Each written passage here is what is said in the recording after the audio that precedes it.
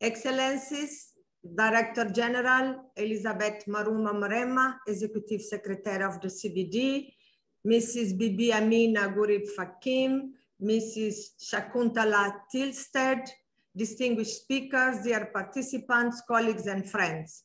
Welcome back to the second day of the global dialogue on the whole of food and agriculture in the global biodiversity framework. Yesterday, we had an engaging debate, including family farmers, researchers, academia, representatives of the private sector, civil society, countries, and United Nations system. We heard many important messages that have been captured by our co-chairs and will be presented later this morning. The excellent question and answer session was also very dynamic, reflecting a high level of engagement from our participants.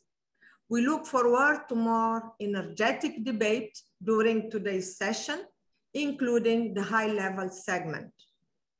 Ladies and gentlemen, dear participants, it's now my pleasure to welcome the FAO Director General, Dr. Qu Dongyu, for his opening remarks. You have the floor, Director General.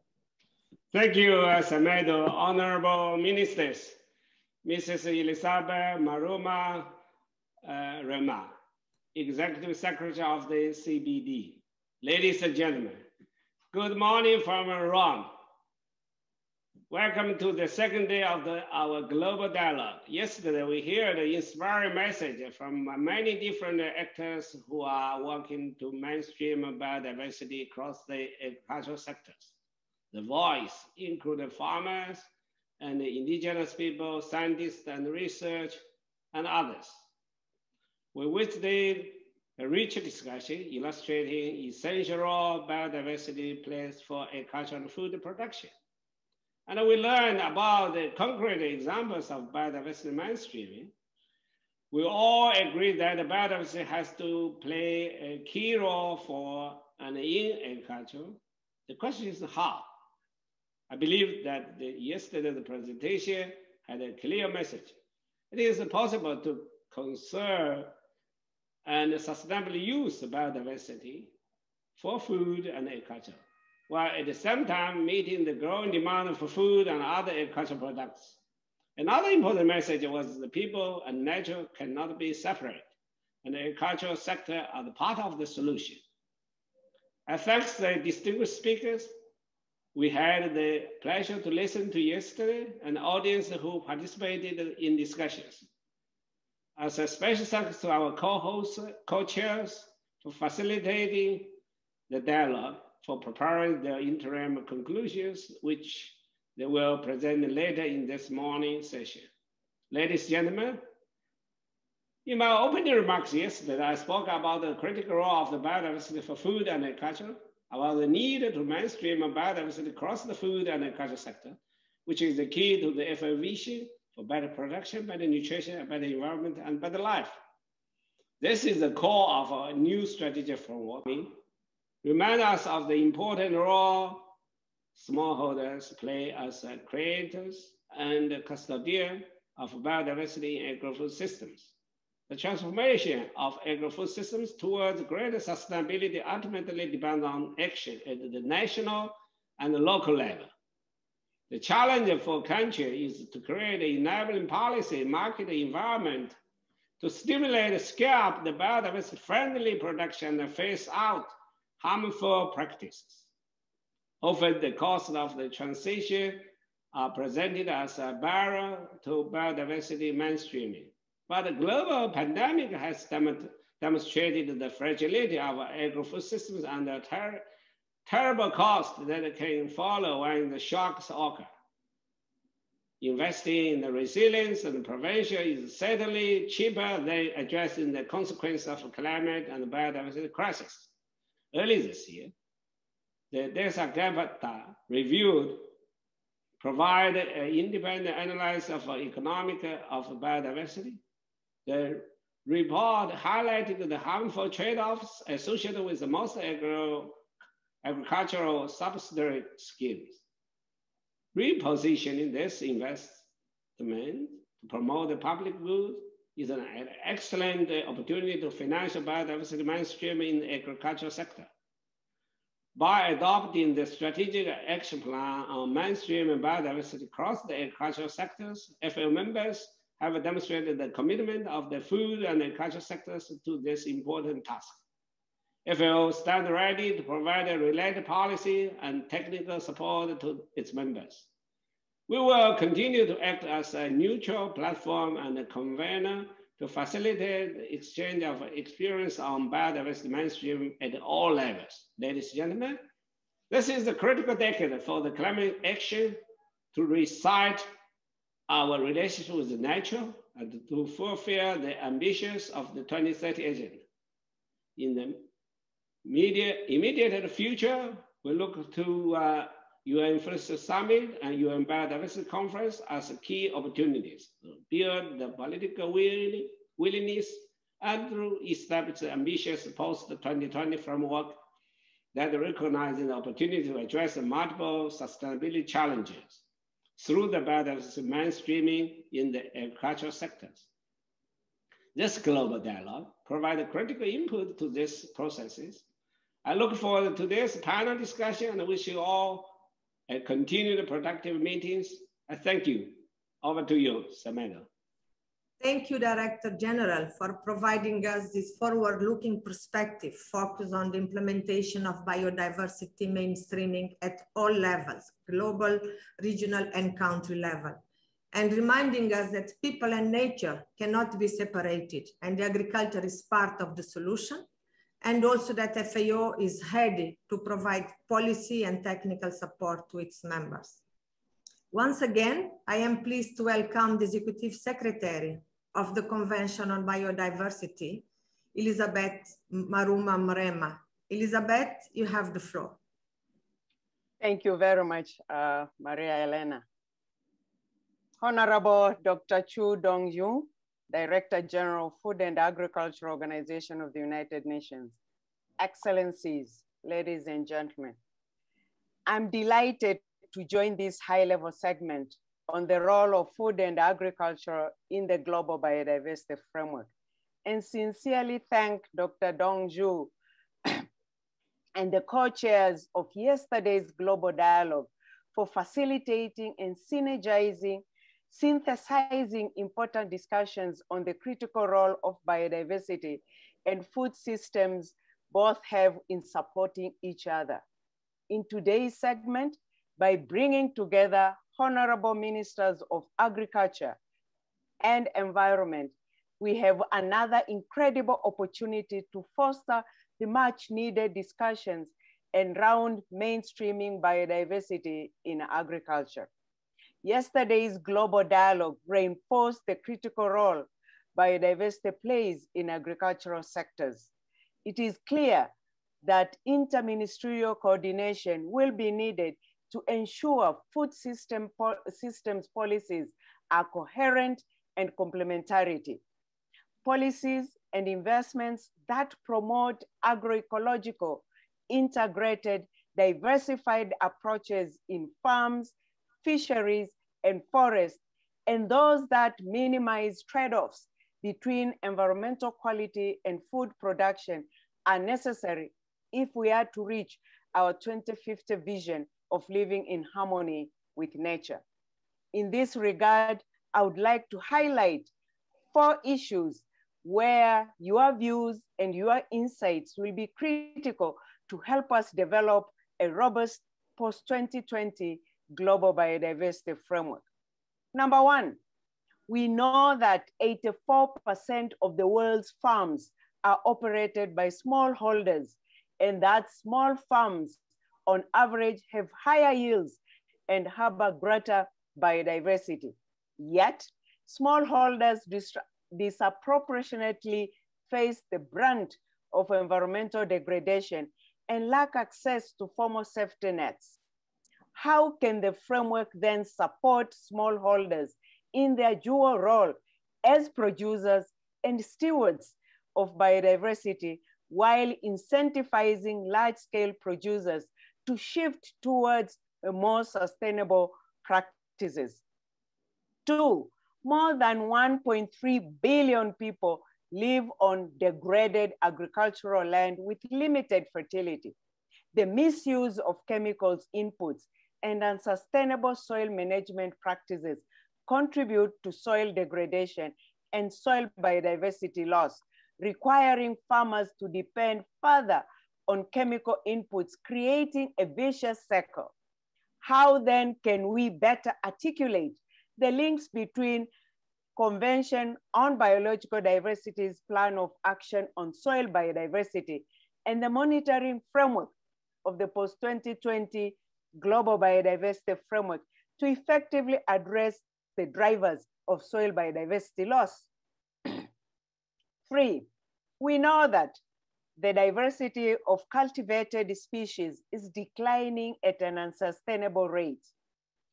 Everywhere in the world, people are not consuming enough nutrient-rich foods and are missing the full range of nutrients essential to human health. Furthermore, the COVID-19 pandemic might have pushed additional 83 to 132 million people into chronic hunger in 2020. We need to ensure that all goals and targets of the framework promote agrobiodiversity, both in our diets and in the production landscapes. Fourthly, and lastly, demand for fish has more than doubled globally since 1990, resulting in an increase in the percentage of overfished stocks. Yet, there is evidence that properly managed fisheries and aquaculture systems can indeed maintain fish stocks in biological sustainable levels. What goals and targets for fisheries and aquaculture are key to include then in the global biodiversity framework? Although these issues may seem daunting, we have a roadmap. The fifth Global Biodiversity Outlook, which examines the progress made so far in achieving the Aichi biodiversity targets, looks at the future and examined, examines the promise, progress, and prospects of eight interdependent transitions on key issues that collectively can move our societies into a more sustainable coexistence with nature. Two of them are notable for our discussions here today.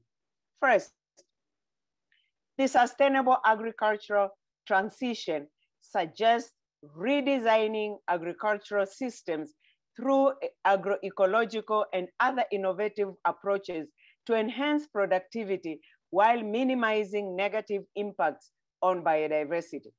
And second, the sustainable food systems transition promotes sustainable and healthy diets with a greater emphasis on the diversity of foods and more moderate consumption of meat and fish, as well as the dramatic cuts in the waste involved in food supply and consumption. Excellencies, ladies and gentlemen, let me highlight again the importance of this event as we prepare for our Conference of the Parties 15. The efforts to advocate for multi-stakeholder, inclusive collaboration, integrated policymaking, and systems-based approaches will be critical to achieve the transformation we are all seeking to achieve. In this regard, I wish you a successful segment and I look forward to hearing the recommendations that will emanate from these important discussions as we move forward to further develop the global, the post-2020 global biodiversity framework. Thank you very much. Back to you, Maria Elena. Thank you very much, uh, Executive Secretary. Think you put us pertinent questions that they will help frame today's discussion as we look ahead to the post-2020 global biodiversity framework. You call our attention that we need a multi-stakeholder inclusive collaboration. We need an inter-ministerial coordination and we need a systemic approach. Ladies and gentlemen, now, before we hear from today's keynote speaker, I wish to invite you to our cultural note. it is my immense pleasure to introduce Mrs. He Hui, a world famous opera soprano, particularly recognized for her moving performance of the great Italian composers, Puccini and Verdi. Mr. He has prepared a special video for us. Please share the video with us. 大家好，我是何慧，我是一名来自中国的歌剧女高音歌唱家和艺术家。在过去的二十年里，我有机会在一些世界最顶级的歌剧院演唱。 我想感谢联合国粮农组织给我这个机会，参加这次重要的生物多样性全球论坛。歌剧是一种综合的艺术表现形式，它包含了多种艺术门类，音乐、舞蹈。戏剧、美术等，演员、歌唱家和器乐演奏家在戏剧性的表演中，音乐作为人类共通的语言，在戏剧的烘托下呈现出人类艺术的综合魅力。和谐是任何歌剧的一个基本组成部分，各个声部、合唱团和乐器必须组合在一起，形成一个有凝聚力的音乐作品。管弦乐队为歌唱伴奏，长笛手可能在演奏一个音符，而小提琴手可能在演奏另外一个音符。但当他们各自的部分被，就会产生和谐。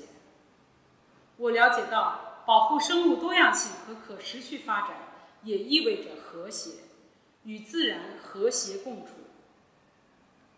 除非我们的生活与自然重新联系起来并保持平衡。否则，国家将无法发展。这就像歌剧中的元素一样，我们既是更大事件的一个复杂组成部分，又完全依赖于它。这就是非常美的呈现。例如，看看蜜蜂，它是保证我们食物生产的传粉者；树木是提供我们呼吸的氧气，甚至微生物也可以帮助我们消化。让我来邀请您一一起来聆听一段我演唱的歌剧片段。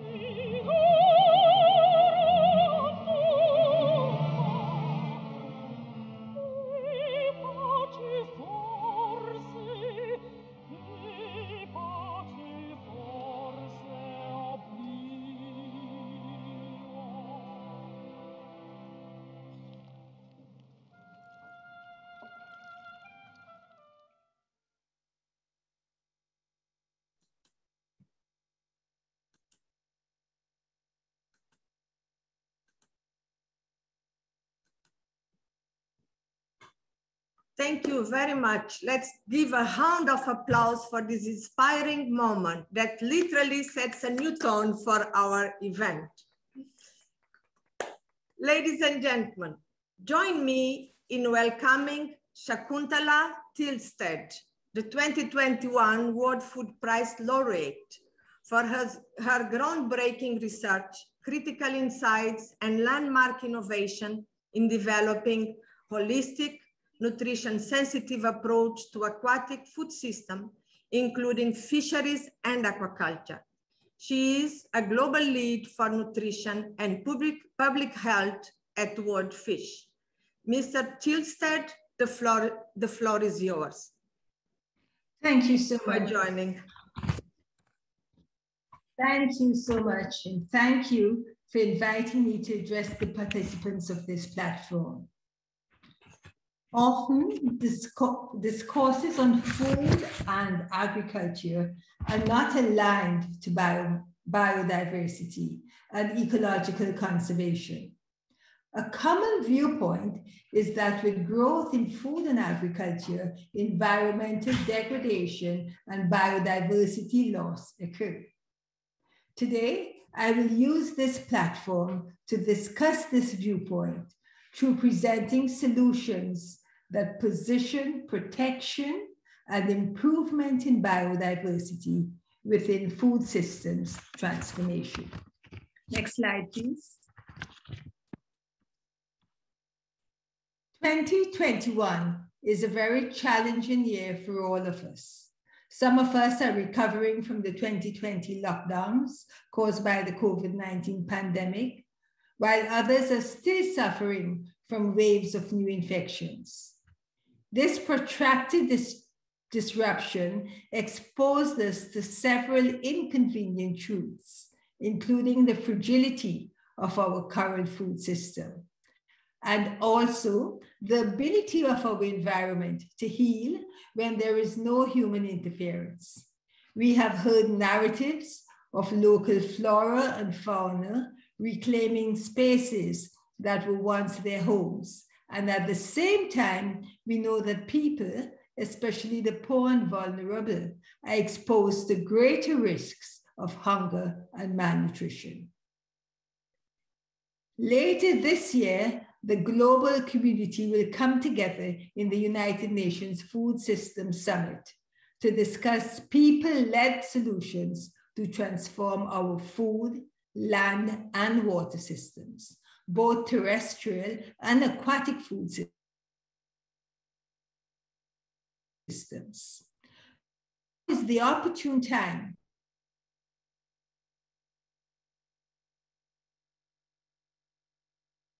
to position the importance of bioconservation within the next slide, please.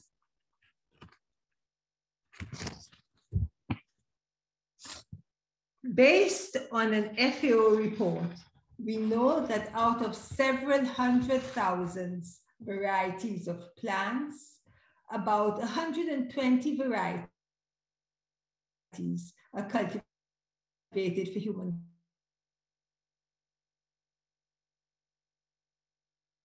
consumption, and just 9% of the global agricultural production. Similarly, global aquatic food consumption is limited to a few well-known species, such as salmon, carps, tilapia, and catfish, while a wide, diverse range of other aquatic foods go unrecognized for their food and nutrition value as shown in this WWF paper published this year, and also in the Illum Illuminating Hidden Harvest, a collaboration study led by FAO, Duke University, and WorldFish, we know that we should be making better use of the diverse range of aquatic foods. The poor management of food diversity and resources is a major cause of concern, as exemplified throughout our history. For example, the Great Famine in Ireland in the 19th century, the Great Chinese Famine in the 20th century, and now the Panama disease that threatens the global banana production. A focus on limited varieties and species, mismanagement of resources, and destruction of habitats have also threatened aquatic food systems, such as the collapse of the Northwest cod fishery, the collapse of wild seaweed industry in Tanzania, and the uncontrolled destruction of aquatic breeding grounds, such as seagrass beds, mangrove forests, and coral reefs. Next slide, please. I will use aquatic food systems to illustrate my messages. However, the concepts that I present are applicable across terrestrial food systems. My first message is that we need to look beyond our usual diets and increase the diversity of foods on our plates. Instead of consuming, for example, only salmon or tuna, we should make available and accessible other types of fish and also other aquatic foods, such as small pelagic fish species, bivalves, mollusks, and seaweeds, and also plants and microorganisms. Low trophic, high biomass aquatic foods provide multiple benefits across the food systems.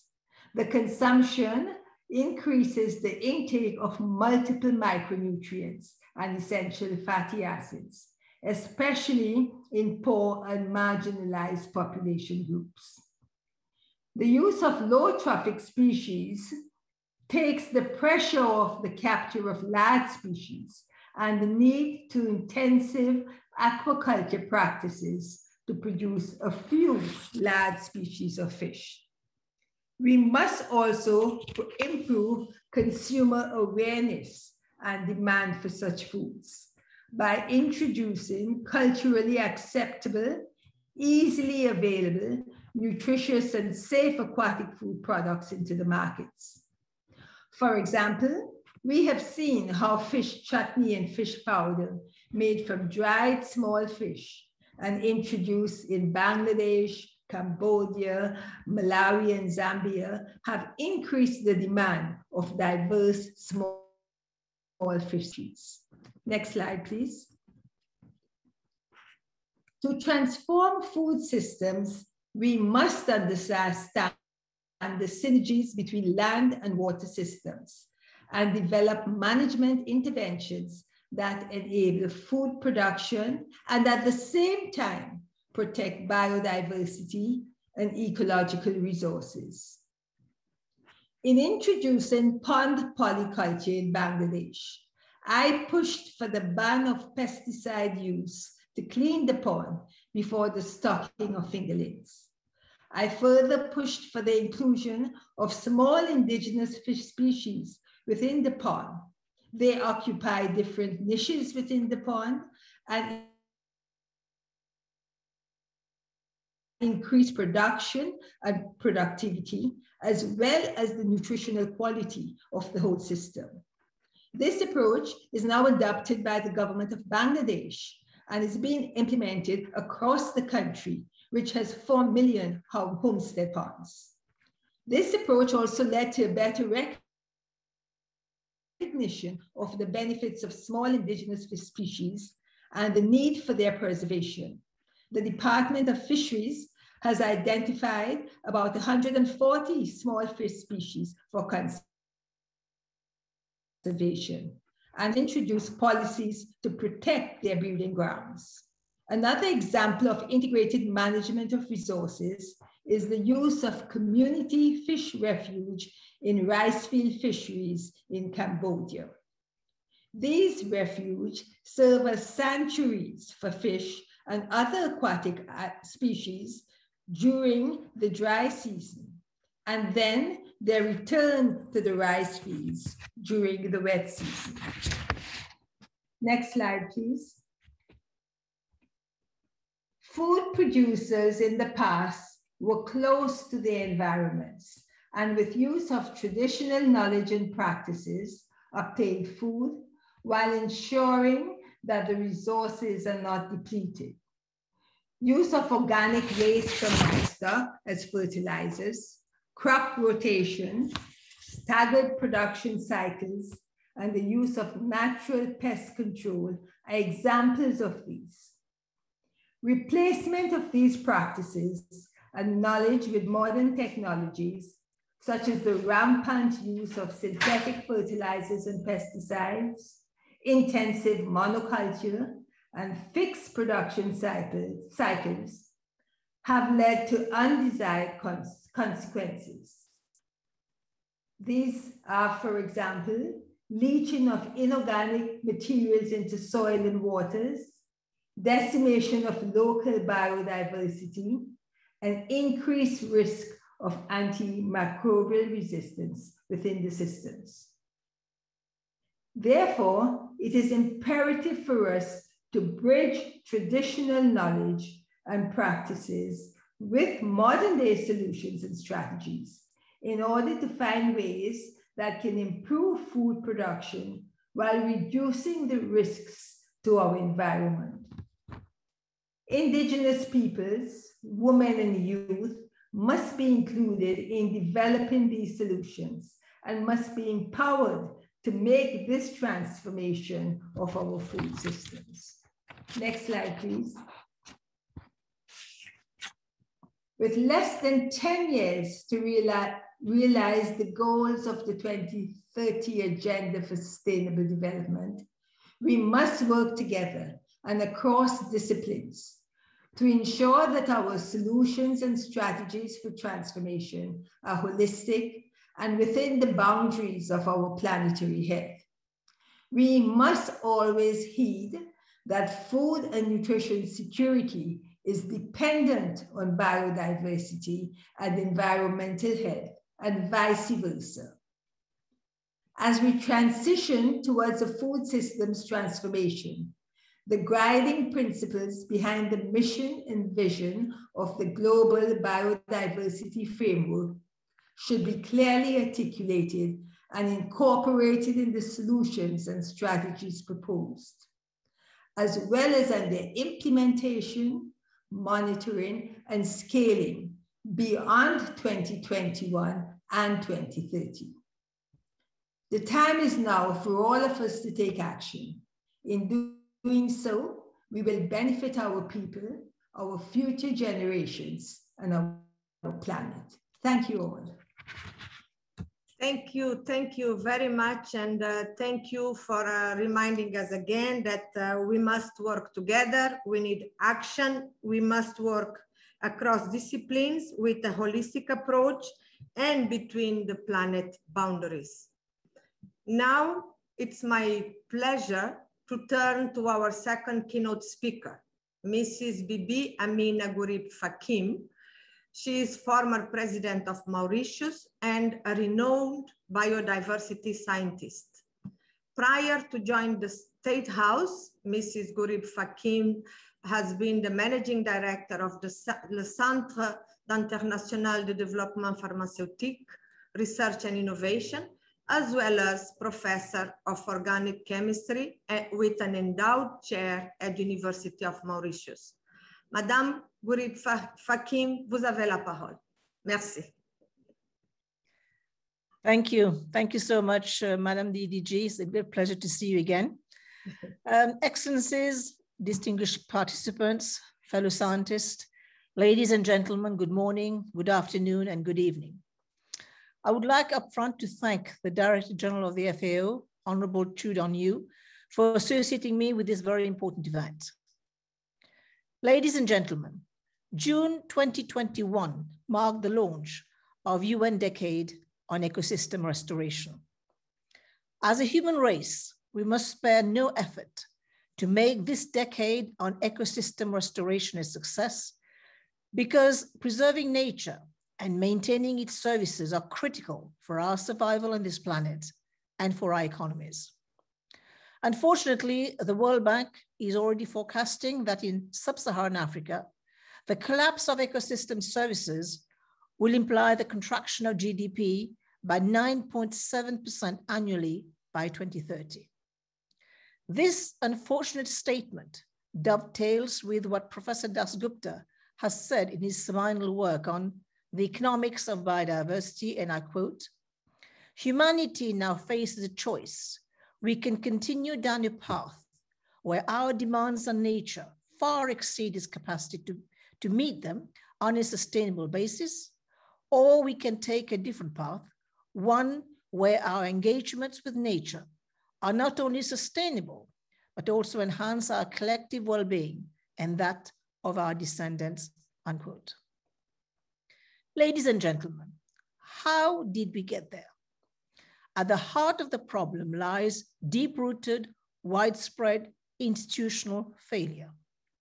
Every single year, we lose ecosystem services worth more than 10% of our global economic output.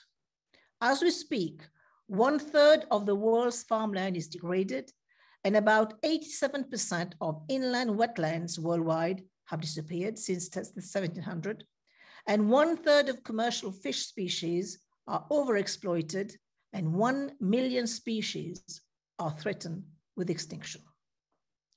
Degradation is already affecting the well-being of an estimated 3.2 billion people, that is 40% of the world's population. Ecosystem restoration is needed on a large scale as it delivers on multiple benefits and help us deliver on the sustainable development agenda. Restoration also curbs the risk of mass species extinctions and future pandemics. To begin with, ladies and gentlemen, we need to start with the restoration of forest landscapes, farming, livestock, and fish producing ecosystem and bring them to a healthy and stable state. Reviving ecosystems and other natural solutions could contribute over a third of the total climate mitigation needed by 2030. For this effort to be sustained on a global scale, institutions require sustained investment as there is growing evidence that it is more than, pay, than pays for itself. Policymakers and financial institutions are only slowly realizing the huge need and potential for green investment. Countries like Costa Rica has seen ecotourism grow to account for 6% of GDP by doubling its forest cover. By 2030, Mesoamerica and Indonesia could add 2.5 billion US dollars to their economy simply by restoring coral reefs. A restored population of marine fish can deliver a maximum sustainable yield that could increase fisheries production by 16.5 million tons, an annual value of 32 billion US dollars. Agroforestry revival alone could increase food security for 1.3 billion people. Ladies and gentlemen, actions that prevent, halt, and reverse degradation are needed if we are to keep global temperature below 2 degrees centigrade. This could involve action to better manage some 2.5 billion hectares of forest, crop and grazing land through restoration and avoiding degradation, and restoration of natural cover over 230 million hectares. Large-scale investments in dryland agriculture, mangrove protection, water management, will make a vital contribution to building resilience to climate change, generating benefits around four times the original investment. With careful planning, restoring 15% of converted lands while stopping further conversion of natural ecosystems could avoid 60% of expected species extinctions. Achieving successful ecosystem restoration at scale will require deep changes, including the adoption of inclusive wealth as a more accurate measure of economic progress. This will rest on the widespread introduction of national capital, accounting thus creating an enabling environment for private sector investment, including public-private partnership. Progress can be made by increasing finance for restoration including the elimination of perverse subsidies that incentivize further degradation and fuel climate change. Such initiatives must be accompanied by raising awareness on the risk posed by ecosystem degradation. Transformation will happen when we start reforming agriculture, by changing how we build our cities, by decarbonizing our economies, and by moving to circular economic models.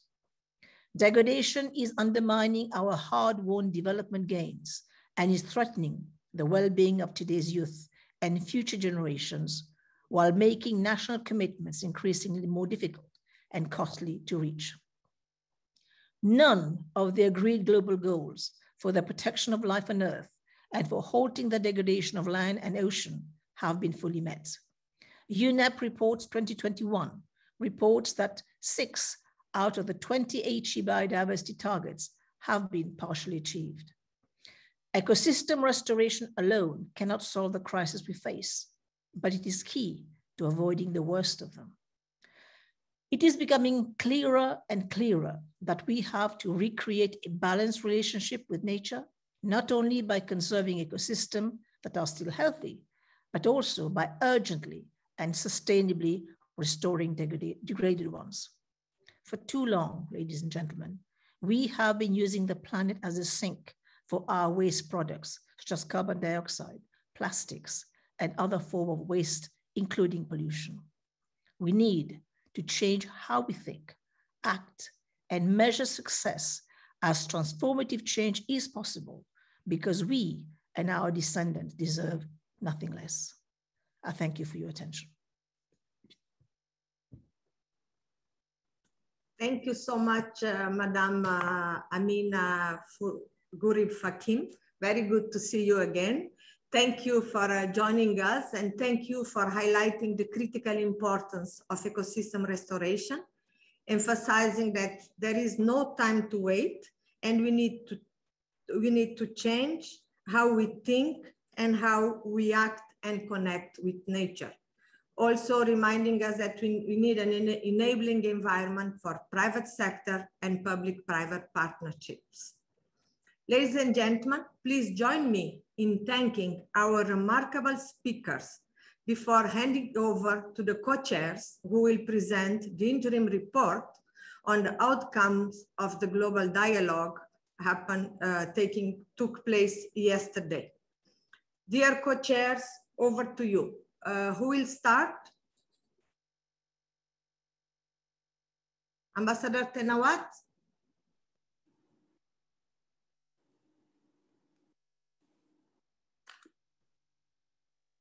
Hello? Uh, good morning. Okay, Ambassador, over to you. Thank you. Okay, thank you. Thank you very much, uh, uh, uh Maria, and uh, good morning. Uh, on behalf of the fellow co-chair ambassadors, I have the honor to um, present a summary of the discussion.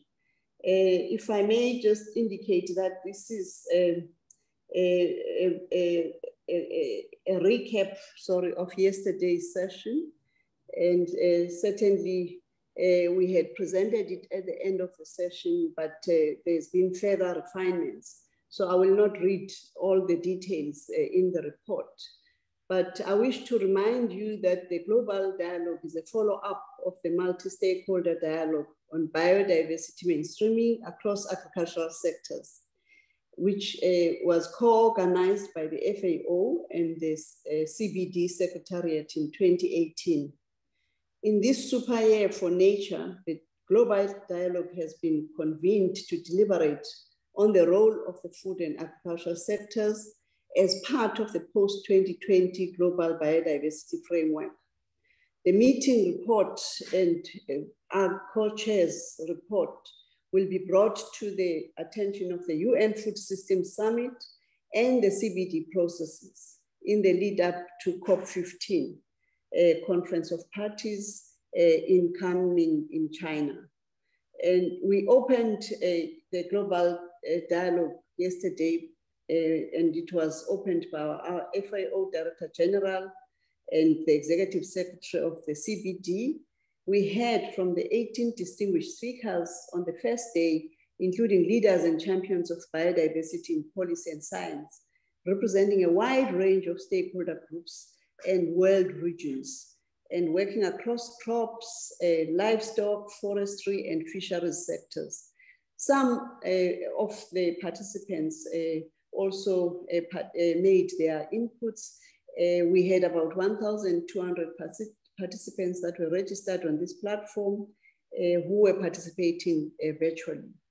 Uh, the first session of the dialogue focused on the meeting on meeting people's needs through the sustainable use of biodiversity, highlighting the indivisible link between people and nature and the significant uh, contributions of indigenous uh, peoples and family farmers uh, to the sustainable management of ecosystems and biodiversity on the sec during the second session, uh, which was focusing on mainstreaming biodiversity for better production, better nutrition, and a better environment and for a better life. We discussed this, the different topics uh, and aspects of which related to sustainable management, restoration of biodiversity across uh, the various crops, uh, including the sectors, uh, fisheries sectors and forestry, as I already mentioned. In summary, in terms of the key messages Uh, we had uh, one, we have grouped the key messages in terms of the clusters of the topics that were handled yesterday. Uh, we had a, topic on human rights depending on a healthy biosphere. In this respect, uh, our focus uh, was on the rights of indigenous people, local communities, women and family farmers. And this uh, focus was recognizing the rights that we should be protecting and make sure that there are various um, um, um, uh, applications that would uphold sustainable uh, biodiversity conservation and use uh, in respect of the various uh, uh, species or even crops. Uh, we focused on empowerment and increasing agency of small farmers, which was seen to be critical in respect of um, making sure that there's ownership and, and, uh, and as we deal with the climate challenges, uh, when we talk about alternative means of production, um, uh, the communities would be empowered sufficiently to do what is good for nature. Uh, in respect of the value of the um, of understanding indigenous peoples, uh, the message that is coming across is that we need to maintain a strong connection to the environment through hunting, herding, fishing, and gathering renewable resources. And small scale producers who primarily rely on biodiversity for their food security and livelihoods, which are disproportionately impacted by the erosion of the biodiversity.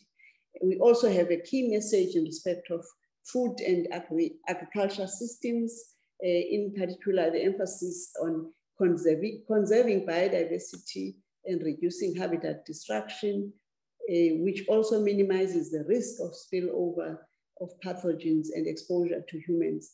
Again, this is a, an understand, a message about protecting effectively uh, the biodiversity, whilst uh, we acknowledge the reliance of um, people and a society in, in terms of their livelihood uh, on uh, natural resources. Um, there were concerns that were raised by the various participants and even presenters, which related to the impact of livestock production on biodiversity and climate. Again, this was linking the ecosystem loss and degradation, um, increasing the risk of uh, uh, zoonotic spillover, which uh, effect uh, would also arise, uh, arise in heating of the planet uh, that undermines productivity. Again, the scientists underscored this aspect. At the same time, our food systems and diets are a driver for 80% of human diseases. And this again uh, was uh, uh, uh taken from the Leonard Fairbrother.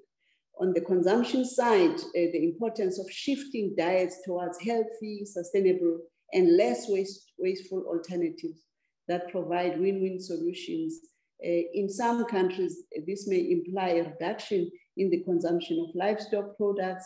In other contexts, including the small-scale farmers and pastoral, uh, pastoralists, uh, animal production and cons consumption makes an essential contribution to livelihoods, nutrition, and climate resilience.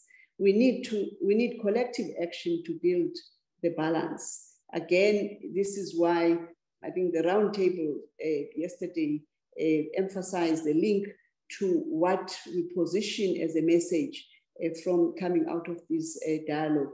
For COP15, which is the CBD Conference of Parties, Climate Change Conference of Parties, COP26, and a Food System Summit, which is a UN summit um, in the context of nutrition for growth um, and messaging, uh, where we also commit that nutrition for growth can all help.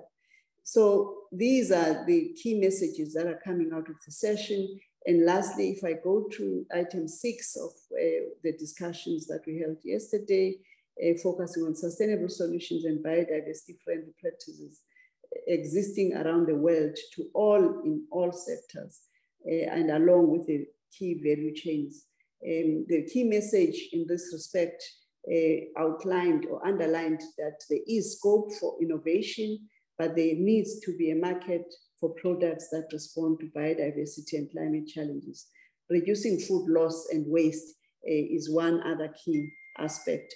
And again, um, um, the, the, the inputs also focused on solutions that are needed to be tailored for local and regional circumstances. And lastly, again, before I hand over to my to one of my co-chairs, uh, I would like to uh, reflect on um, key messages related to uh, integrated planning. Here, there is also um, a, an acknowledgement that for us to have an improvement on farm practices, we need partnerships that bring together all actors within a landscape to maintain and restore ecological networks with solutions anchored in local practices. Um, and there were proposals or suggestions around spatial planning to make sure land uses have uh, positive ecological and economic impacts. Again, valuing uh, natural resources uh, uh in a manner that would enable uh, recognition for protection and conservation for future generations. Um, on the transformative interventions to scale up biodiversity production systems, policies and markets are needed to support a transition to a more biodiverse production, including uh, push and pull uh, factors. Uh, there are suggestions on incentives, payments for ecosystem services, uh, how uh, we can also benefit from public uh, procurement and linking sustainable grown products to markets uh, including special uh, crops and uh, um, that could increase household incomes.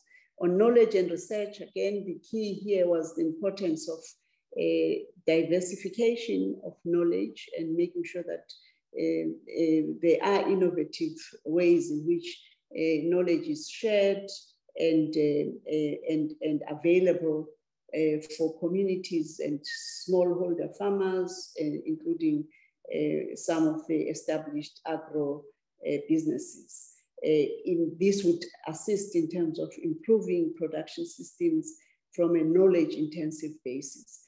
On the financing as a key lever, a scale of investment uh, that is required to transform landscapes, um, which uh, begins to limit the disjointedness in respect of investments was uh, underscored uh, and that there are uh, hidden costs of biodiversity loss and uh, degradation visibility within the context of food systems. We need metrics to measure biodiversity and monitor progress. And uh, I, I, would like to conclude, uh, Madam Chair, and hand over to my co-chairs if they want to make further additions. Thank you very much. I appreciate the opportunity.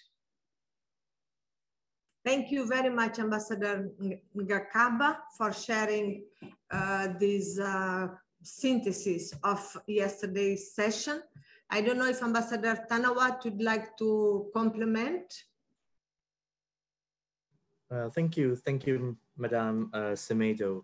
I think it's my uh, co-chair uh, ambassadors uh, cover all the issues that we discussed yesterday. But uh, one of the issues that we would like to strengthen uh, as well, and also yesterday I already mentioned that uh, securing um, uh, the biodiversities is the responsibility for each of us. And we need to take the action now and, and your commitment and contribution uh, to these uh, uh, for uh, conservation and sustainable use of our diversities is crucial. And also I would like to take these opportunities as the chairperson of the, the Committee on World Food Security CFS. We would like to address uh, to uh, all of you that uh, the voluntary guideline on food system and nutrition and also the recently endorsed uh, policy recommendation on agroecological and other innovative approach, which the chairpersons of the open-ended working group on voluntary guideline on food system and nutrition, Ambassador Hans Hoogeveen, and also the uh, rapporteur of the policy recommendation on agroecologies and other innovative approach, uh, Ambassador Yaya Olanilans is here. Uh, both are policy products also as address the issues on biodiversity is crucial. And that's why now is the time for the members and other stakeholders uh, to take a look on those uh, policy recommendations and translate uh, the global policies into action at the country level if we want to have the better outcome for better futures for our planet. Thank you very much. Thank you very much to our co-chairs for sharing with us these uh, syntheses which will help shape and enrich the discussion for the rest of the day. Uh, let me recognize the presence of Ambassador Hans Hoogeveen, the independent chairperson of the council. He has been with us since yesterday. Thank you uh, for joining us.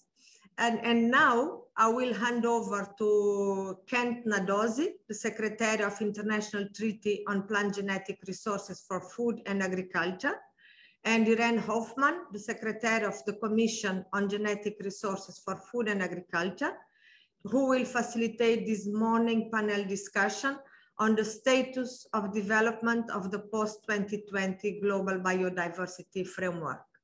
Colleagues, over to you. Kent, over to you. Thank you.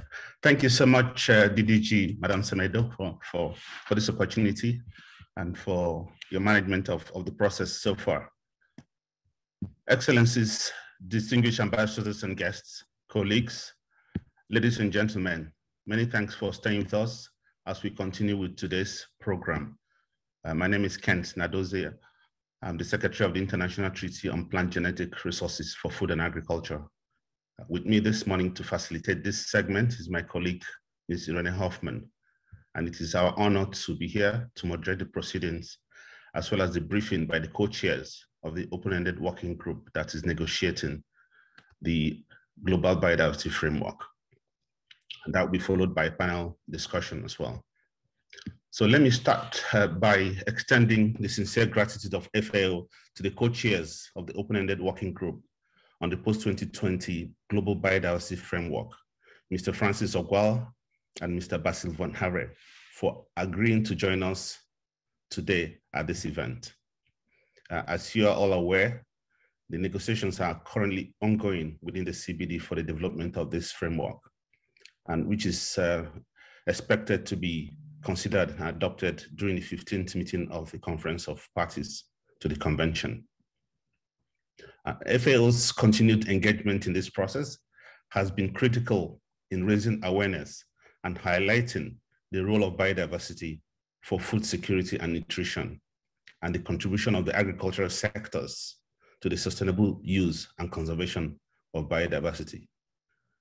Uh, it was in this context that FAO was pleased to host the second meeting of the open-ended working group uh, that um, took place in Rome from 24 to 29 February 2020, just before the pandemic shutdown hit. It was also in this context that it's also in this context that we are here today, organizing this briefing session during the global dialogue as part of our overall engagement and commitment towards supporting and facilitating a positive outcome for these important negotiations.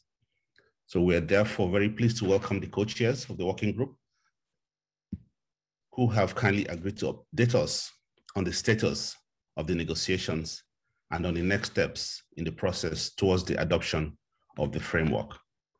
So Basil and Francis, thank you very much. Uh, the floor is yours. Uh, good morning. My name is Basil Van Havre. I'm very pleased to join you. I understand Francis is also online. I will be sharing my screen in a moment and, and start the presentation. And then Francis will be uh, will be uh, following me in the presentation. We'll we'll take turns in uh, in uh, uh, delivering this presentation. So perhaps uh, Kent can give me uh, hand signals when he sees that uh, the presentation shows on the screens. Okay, excellent. Thank you very much. So um, basically, we want to give you a brief and, um, and uh, you will see on this brief that we want to talk a little bit about the urgency to act and probably something uh, you heard yesterday. I was, I was very pleased to hear the summary we want to talk about what we're trying to do with the framework and the notion this is a framework for all. We'll get into some detail about the, the framework, the goals, and the targets. And then uh, we want to come back with a couple points of particular interest. Um, and those are this uh, notion of how do we work on productivity and sustainability at the same time and why this is good for, for the environment and what is good for conservation. And then finally, the agri-food and associated system transition, which is kind of a daunting challenge that we, we all face. Um, on, uh, on this slide, you see a, a, a screen capture from the uh, International Panel on Bio Biodiversity and Ecosystem Service Assessment, which is the base for our work. And then really uh, the, the panel has identified, and you can see that as the, at the bottom of the screen, that the, the five or six, uh, five major drivers of biodiversity loss is land use and sea use change, direct exploitation, climate change, pollution, invasive species. And you will see when Francis presents the targets that we're trying to address directly those drivers. Um, we can contribute to a number of the indirect drivers, particularly in terms of values and behaviors, but some others are outside of the scope of our convention and uh, better integrated under the Sustainable Development Agenda. But what that, uh, that mean in terms is business as usual, we're gonna see biodiversity loss increasing. And we're gonna see loss of natural ecosystem, depletion of fish stock, climate change that will go over the two degrees, risk of invasive alien species increasing from between three and 20 and 20 time, and then plastic waste increasing 2.6 uh, time. So really a very strong signal and and this time is the opportunity to bend the curve or change the system so an urgency to to act and i've talked about the biological factor and and i want to talk very briefly uh, about the the economic the economists are telling us that about a third of our global economy is depending on nat- on nature and and i'm not going to tell you how important biodiversity is to the, the business of the FAO, that is pretty evident. What we also see is the previous set of targets were not fully met. Some uh, were, were met, but not all. And there was deficiencies in the way we've been doing accountability in terms of planning, reporting, and review. So um, basically, this is the last chance to put the system back on track, and, and we're, we're, we're embarking on a way and a very fundamental overall of the system, you will see that we're not only looking at the action to 2030, but we also are looking at how we transform that vision for 2050 into something that is measurable. Um, the parties to the convention give us a, a, a charter with a number of, uh, of uh, principle.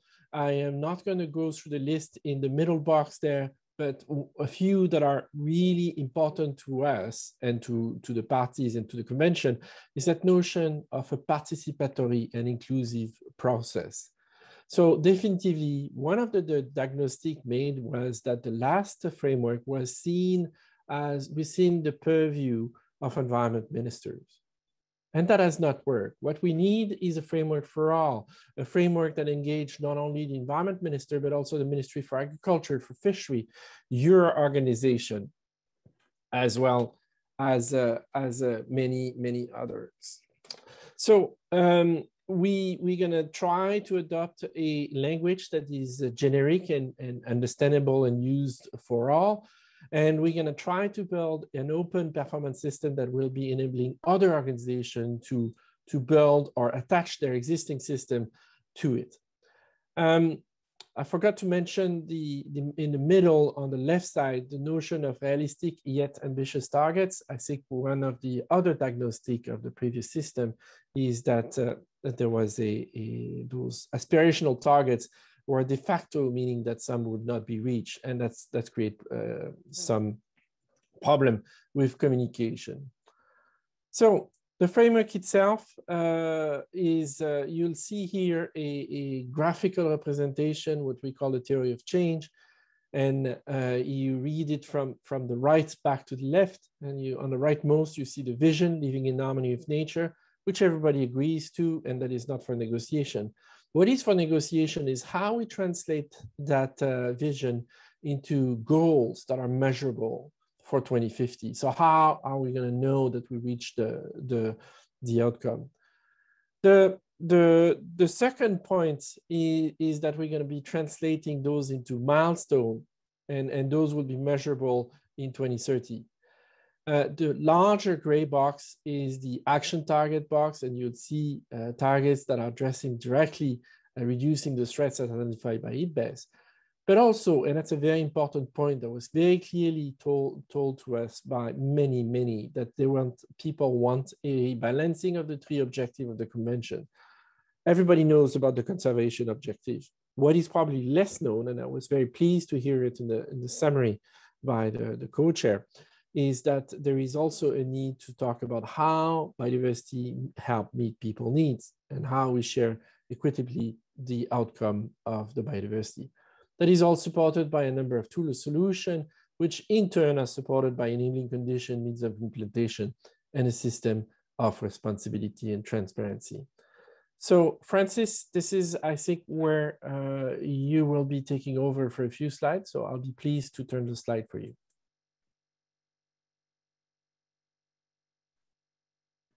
Yeah, thank you. thank you, co-chair. Uh, I'll try to go on with the next slides and then we can end it there.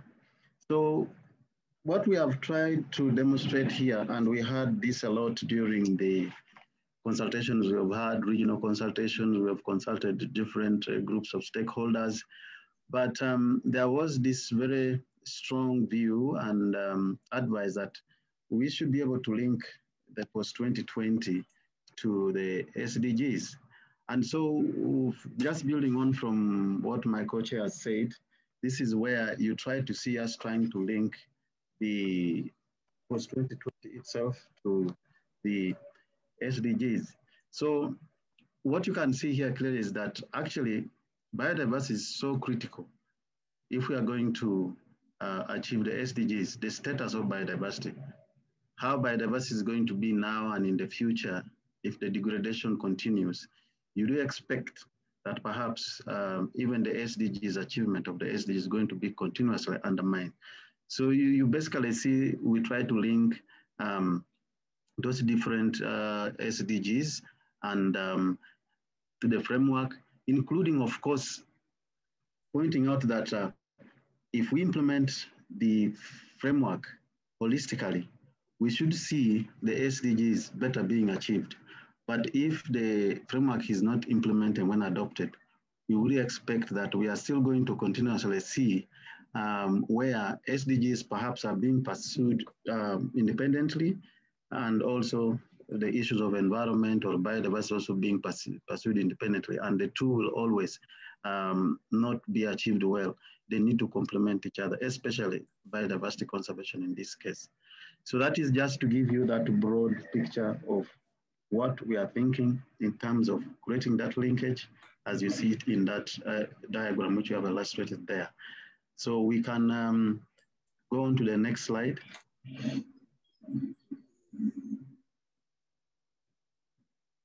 Now I'll dwell a little bit here and um, just to tell you that those green areas would point out to really what we think could be the contribution of the work you do or how it is linked to the framework.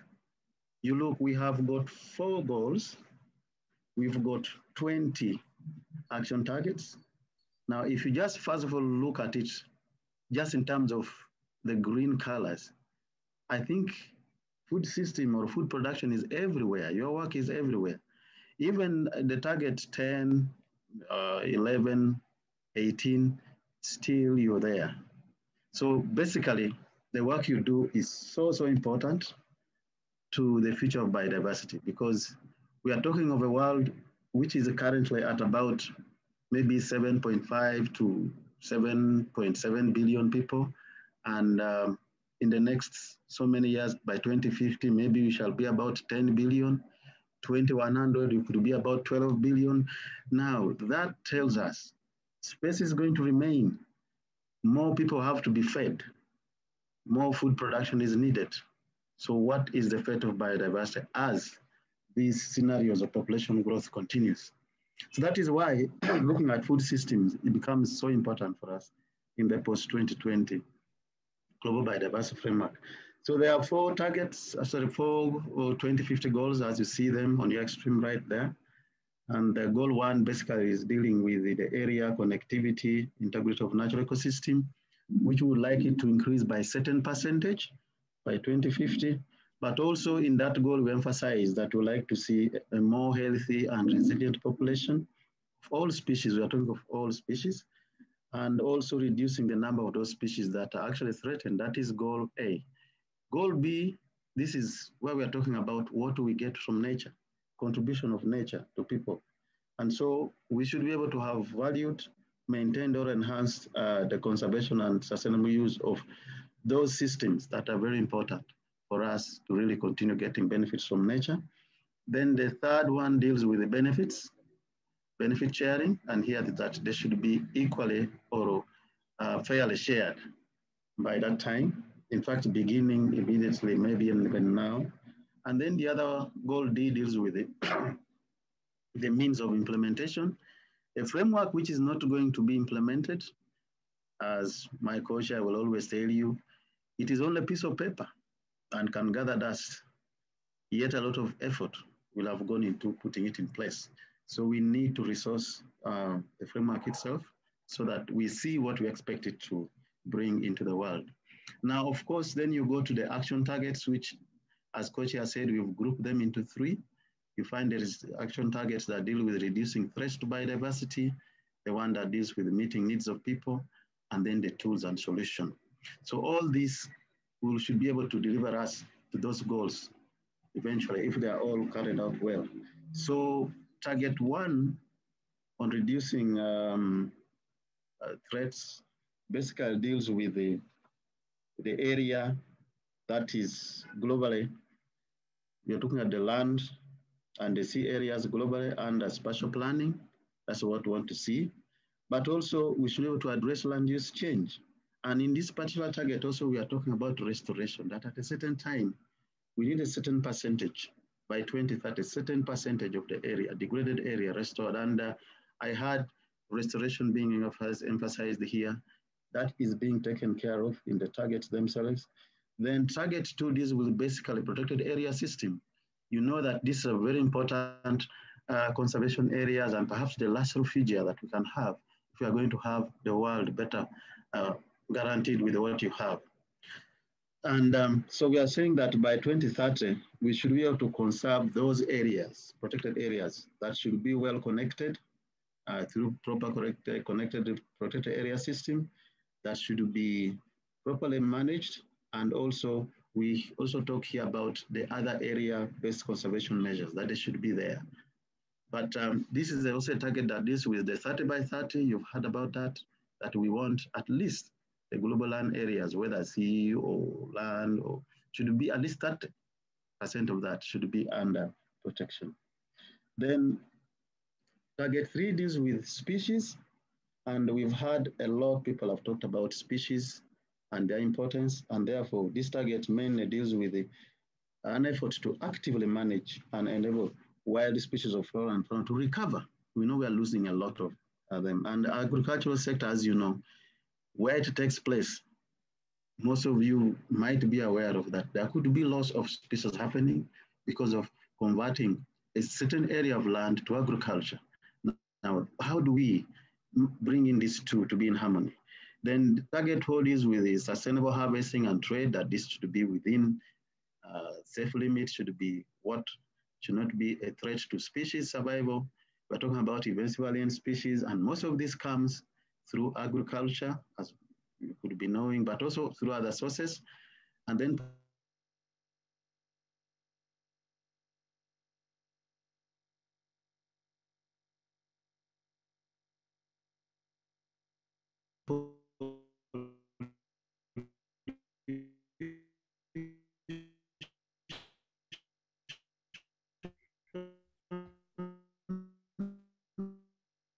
would seem that uh, Francis has uh, some technical problems.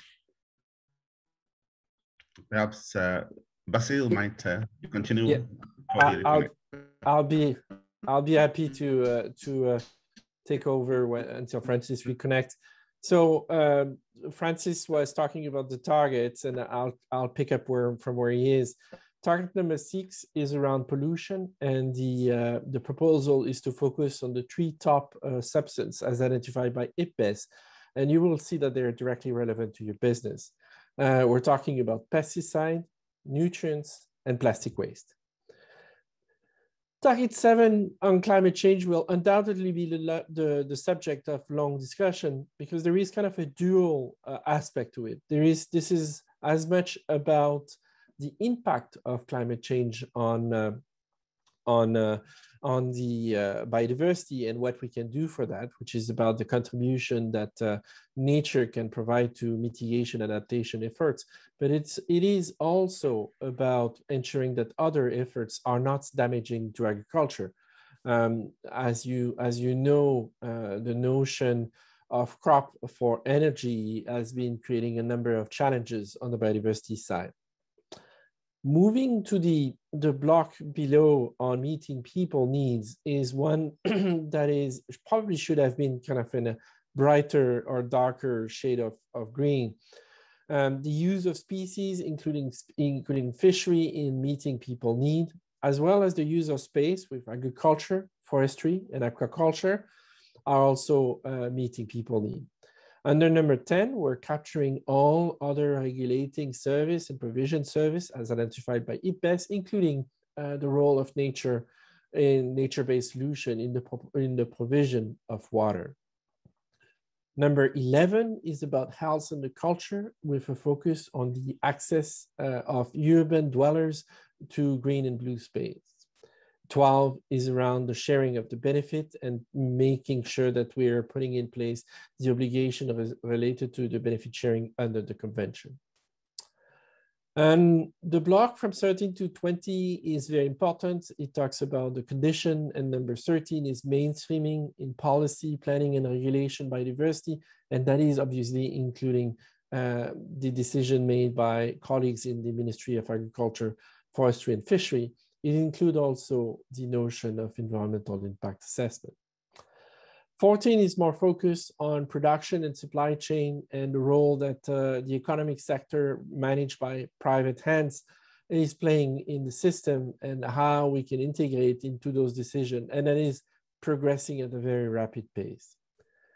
15 is focusing on individual choice and what consumer all of us uh, are making choice every day in our life. We buy a cup of coffee, when uh, when uh, we decide to go on a on a vacation, and and how we can make sure that those choices are sustainable.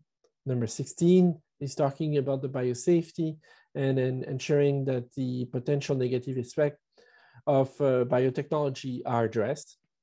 17 is extremely important uh, we, we know that there is a vast amount of resources uh, that is currently working against biodiversity interest and, and reform and repurposing of negative incentive, uh, particularly in the area of uh, fishery, forestry, and agriculture, could lead to large-scale decrease in cost of remediation and restoration this target 17 cannot exist without the, uh, the matching targets around resource mobilization and capacity building.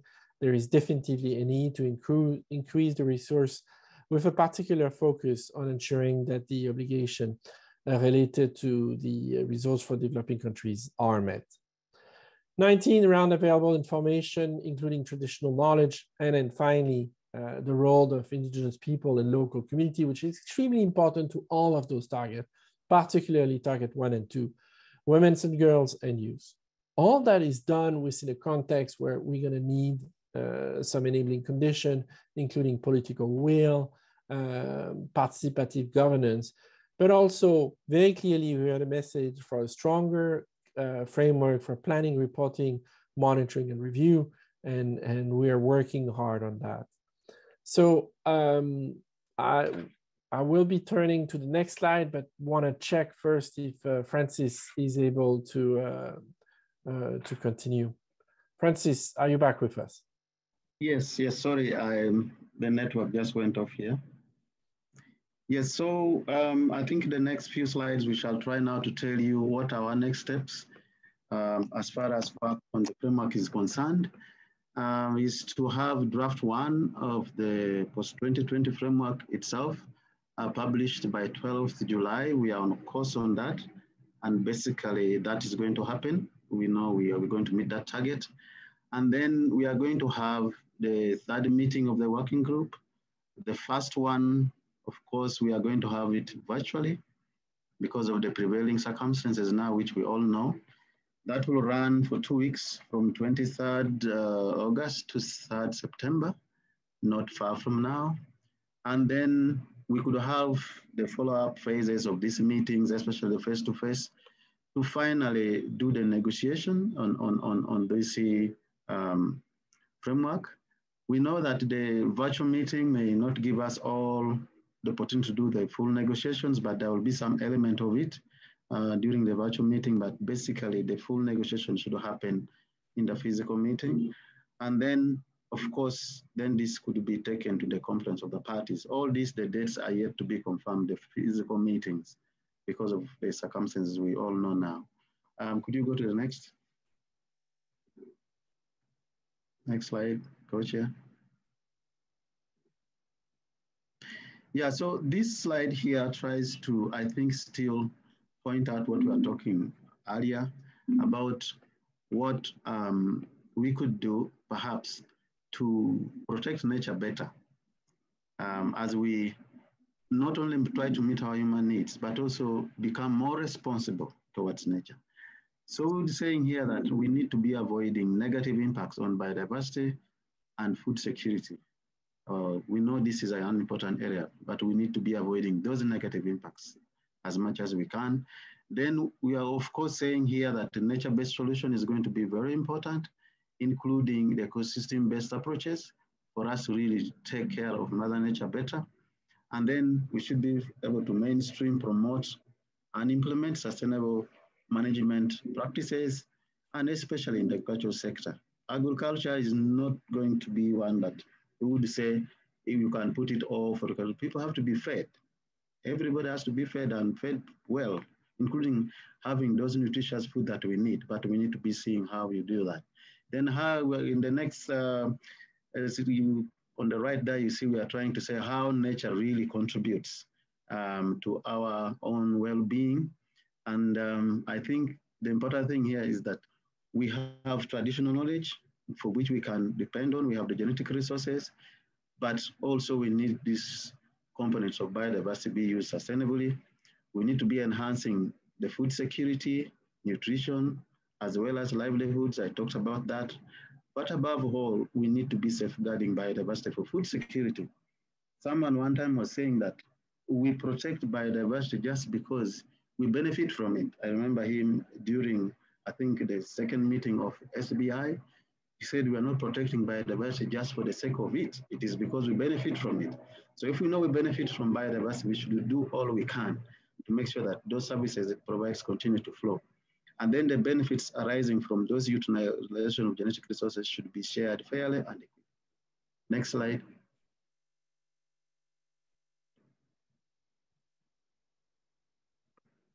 Francis, do you want me to take over this part? Yes, please. Okay, thank you. Thank you, Francis. So let me continue with a, a couple ideas and concepts. And, and here is one. How do we balance and, and, and should we balance uh, productivity and, sustainability? And you will see that uh, we try to argue that uh, actually increase in productivity is beneficial to uh, sustainability. Uh, our system is a complex one, as you all know. Uh, people are influencing nature, and that's the, the, the blue box on the, on the right and the arrow coming on the top over to nature. But in turn, nature provide to people.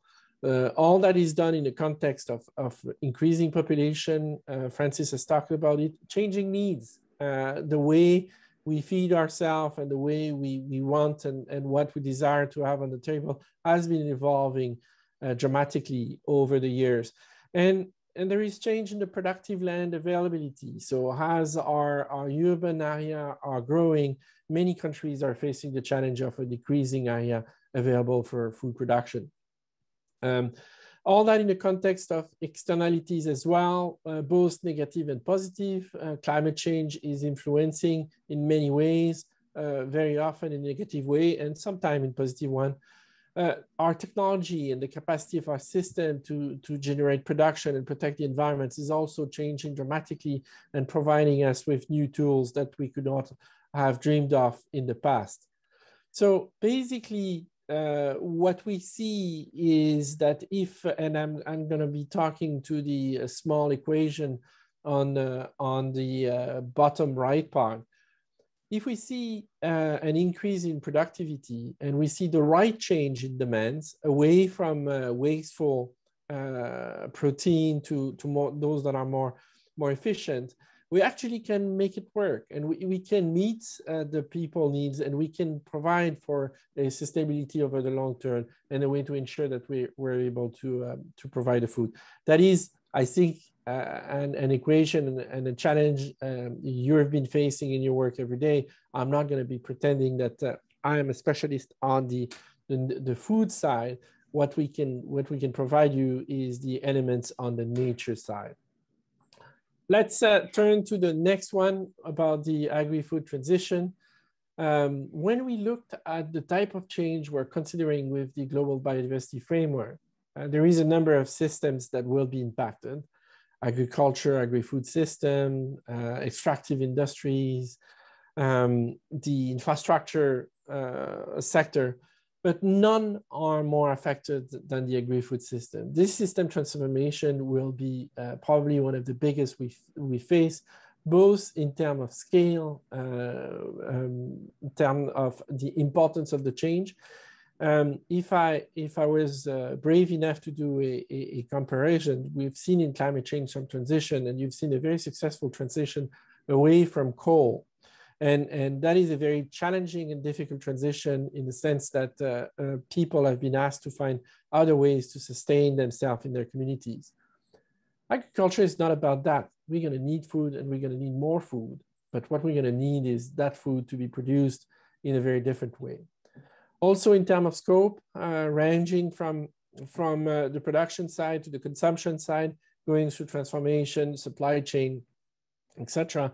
And, and we're very, very happy to see the agri-food industry uh, very much engaged with us and actually probably pushing us uh, rather than being dragged by anybody else. To do that, it's going to be in, important to integrate all drivers of change. Um, I think we what we don't want is to have on the Monday the climate change team showing up on the doorstep of the agriculture ministry and the Tuesday the biodiversity one and then the health one, etc., etc. We're going to need to integrate all those requirements into one set and have one window access uh, to the industry. That will mean a number of, of, of things, including the creation from our scientists of integrated scenario planning. All those uh, planning tools will, will need to, to be stepped down at the regional, national, and perhaps local level and, and there again, we can learn a lot from the climate uh, uh, lessons and, and the success and see how they've been able to adapt uh, their program at a level that makes a, a difference.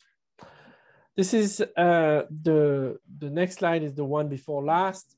Um, we've been following your work very closely. It has been a, a pleasure to, uh, to meet some of you when we were in Rome in February, and I'm looking forward to uh, the next time we can we can be together. But I think we've created some very useful and long-standing links among us. In a sense, we will be successful, each of us, if we're successful together.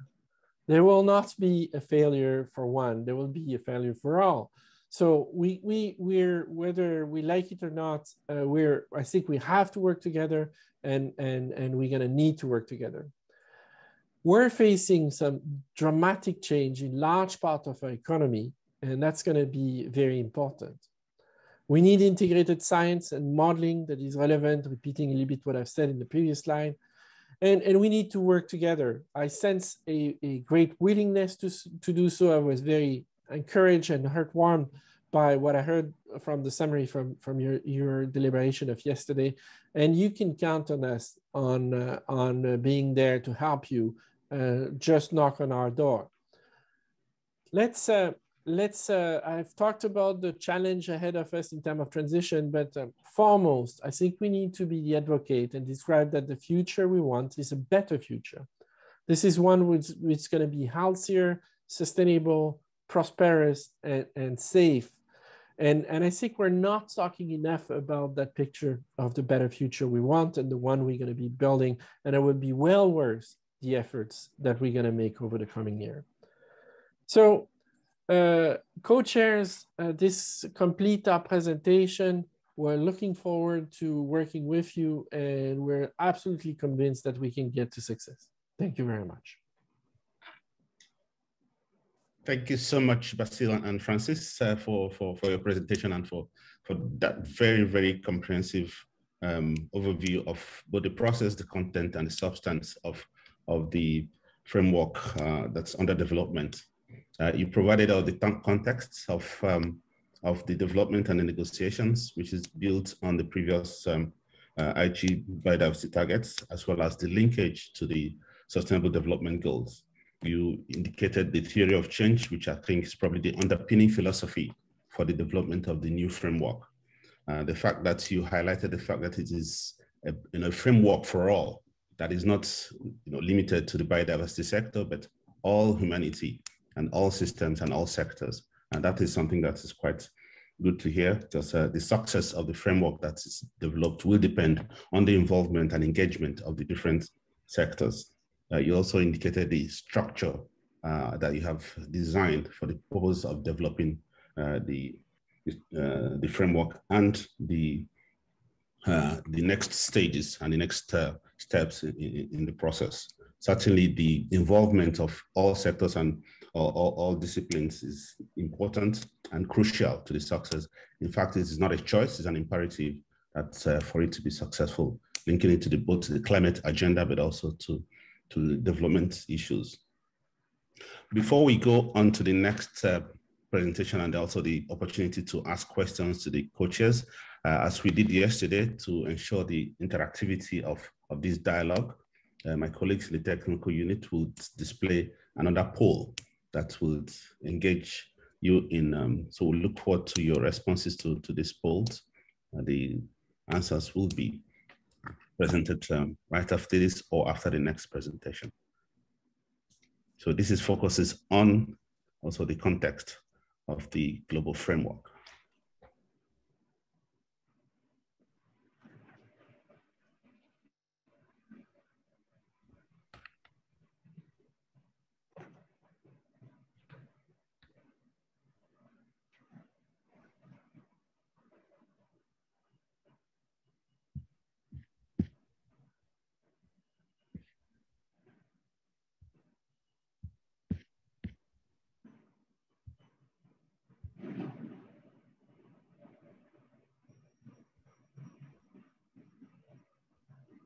For this poll, you can um, choose as many of the responses as you think appropriate.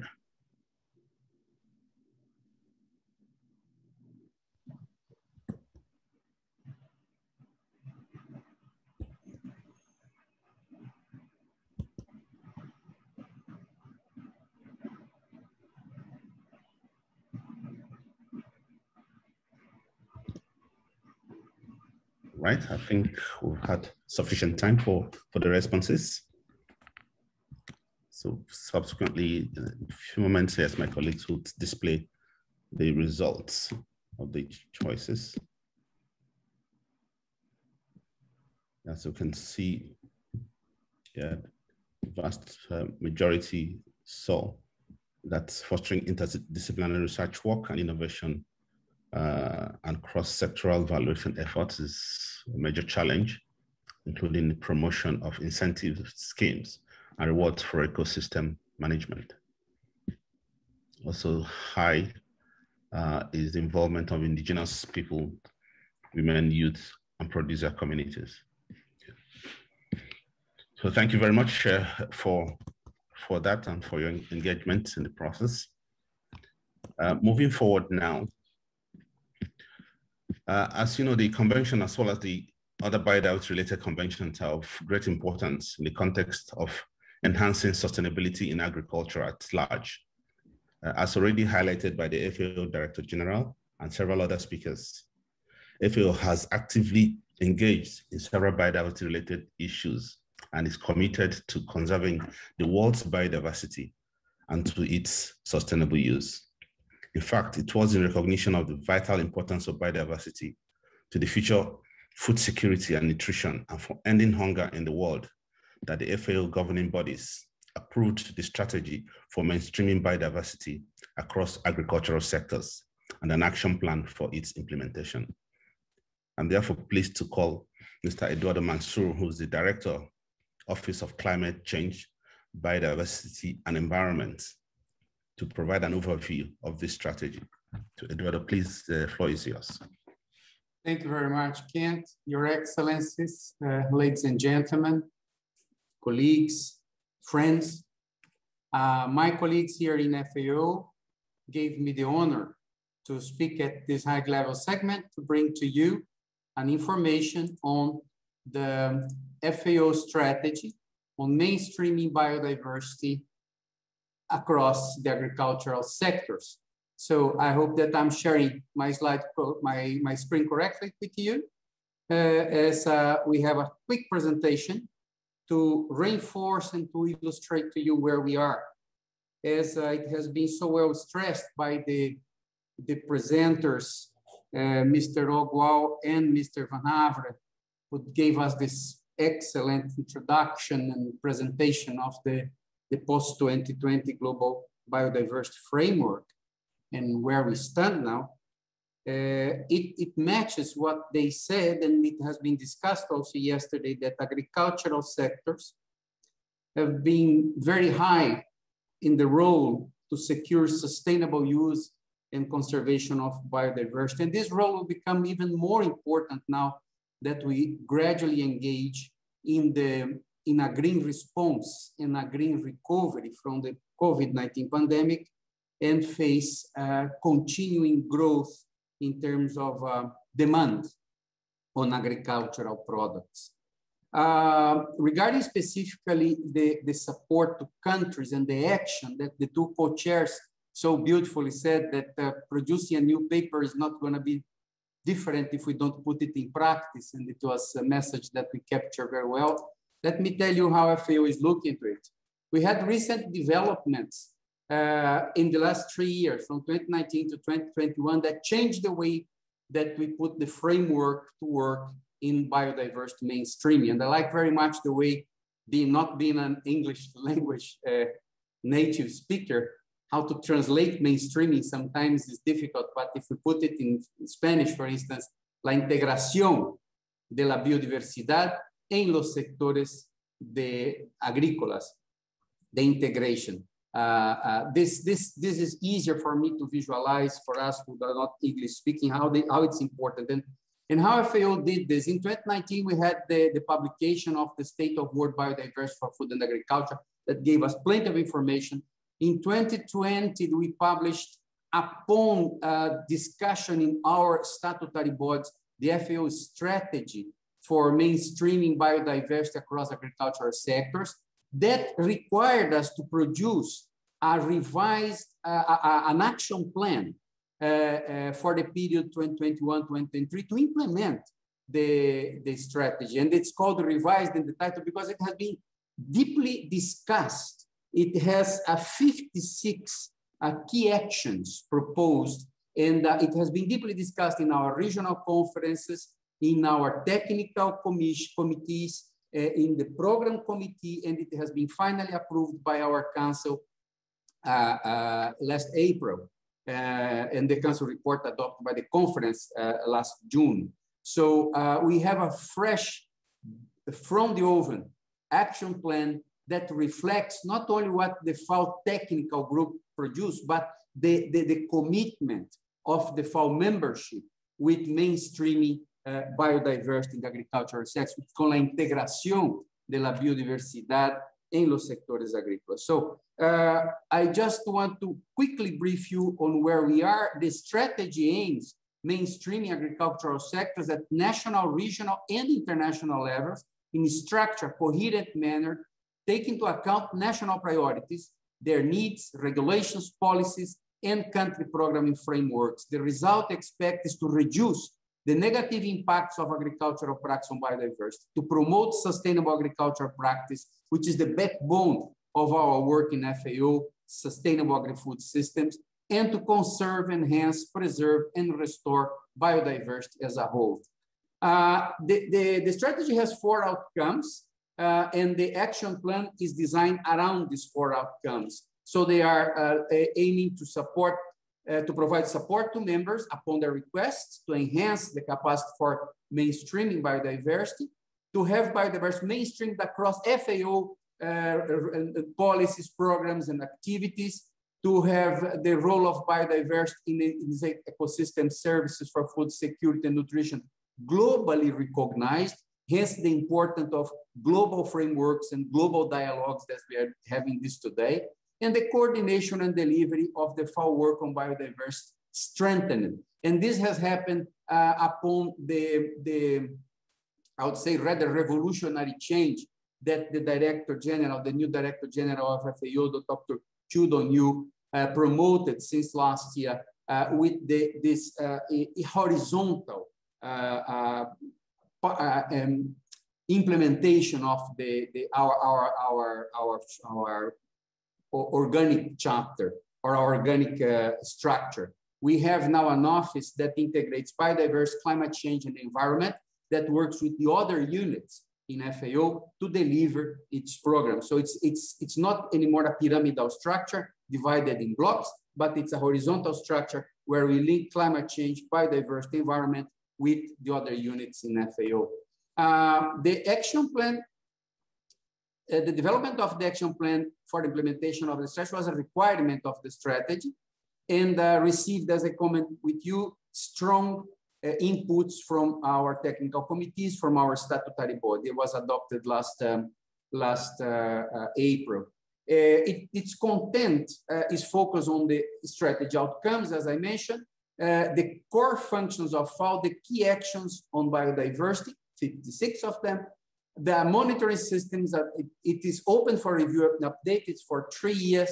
And uh, INANAXIS brings its uh, core action areas and FAO strategic framework. Let me illustrate to you uh, just in one case because I want to call attention. Out of the 56 actions, the action number one is to support countries in the implementation of the post-2020 Global Biodiversity Framework. So we are very, very keen and very anxious waiting for every single step that the co-chairs have so nicely described to us because our commitment is to move ahead at that. How do we do this? We have plenty of activities related to biodiversity, more than 100 projects at this moment, uh, concentrating on contributing to different aspects of biodiversity. We, we are a very active agency uh, implementing together with the Global Environmental Facility on the biodiversity framework. And uh, I will close, uh, uh, Mr. Chair and Madam Chair, with a, a, note of opportunity. We see the UN Decade on Ecosystem Restoration that we launched this year, and FAO is honored to, to co-lead with the UNEP in its implementation. Uh, with every single uh, multilateral environmental agreement, especially the Rio Conventions, uh, the opportunity to, to implement the actions of the post-2020 global framework and the FAO action plan of the, of the strategy on mainstreaming biodiversity across agricultural sectors.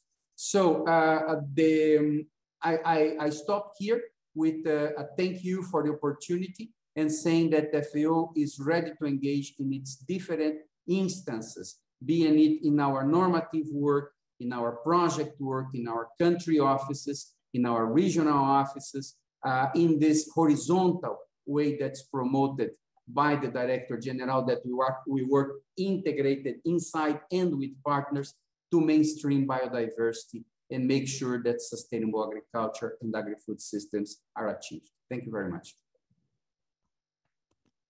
Yeah, thank you so much, uh, Eduardo, for, for that.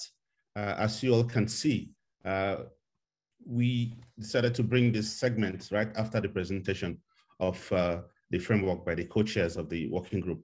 Uh, it shows that we are speaking the same language, we share the same concerns, and we see the same opportunities. And it is only by working together and by harmonizing and integrating our different approaches that we can achieve greater success. So thank you so much, Eduardo, for that. And um, uh, before we go on again, uh, as is previously done, uh, we'll also run another poll quickly. And then after that, we'll entertain some questions for the co-chairs, uh, as well as Eduardo or another FAO officer that you might want to ask a question. So our poll right now is um, talking about some of the enabling mechanisms, as um, both Basile and Francis talked about, that uh, we cannot just have a piece of paper.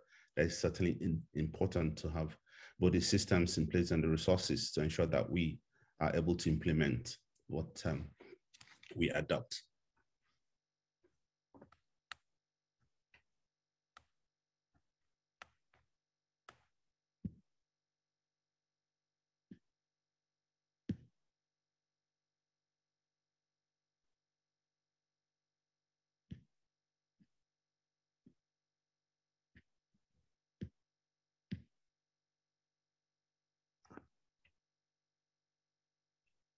And the questions also seek to check the level of involvement and engagement, but uh, also to encourage you as we move forward to be more involved and to further uh, expand the scope of um, stakeholders that are involved.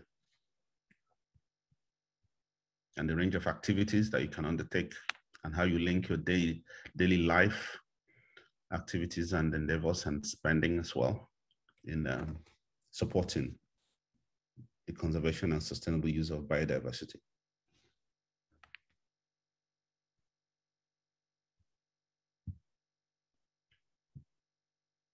So I think um, we'll have sufficient time to have um, some responses. So if we can run the result quickly.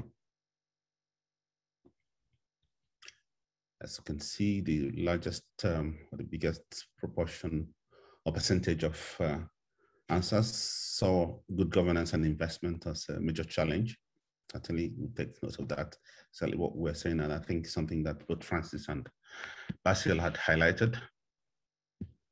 And then they see a lot of sense of responsibility in responding to what you do, but that we encourage to do more of those, including buying at local farmers markets and ensuring that how you spend your money is also contributing directly or indirectly to to support the objectives of the convention and the and the principles that um, underline underpin pin that.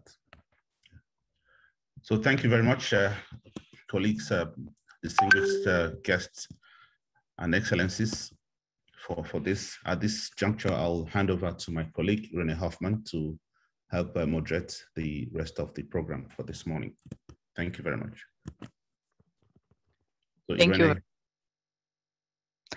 Thank you very much, Kent, and thank you very much to the co-chairs and Eduardo to give us their insights. Um, there are a few questions which maybe we ask you to respond now, and then we will invite the views of the bureau members of FAO governing and uh, technical bodies to give their views on the post-2020 framework. Um, I have a question for, for Francis and Basile. So how are the planning, monitoring, and reporting and review mechanisms envisaged to support an effective implementation of the framework to ensure that all targets are met? And what is concretely the role the agricultural sectors can play? That's a big question. And Francis, maybe I'll, start and, and as usual, you can correct and, and add to uh, my remarks. Um, the, the, the, the, the detail of that uh, planning, uh, monitoring, reporting, and review system are being discussed. And uh, as you can imagine, when you move to uh, the next step in uh, in this. This is always a, a complex discussion.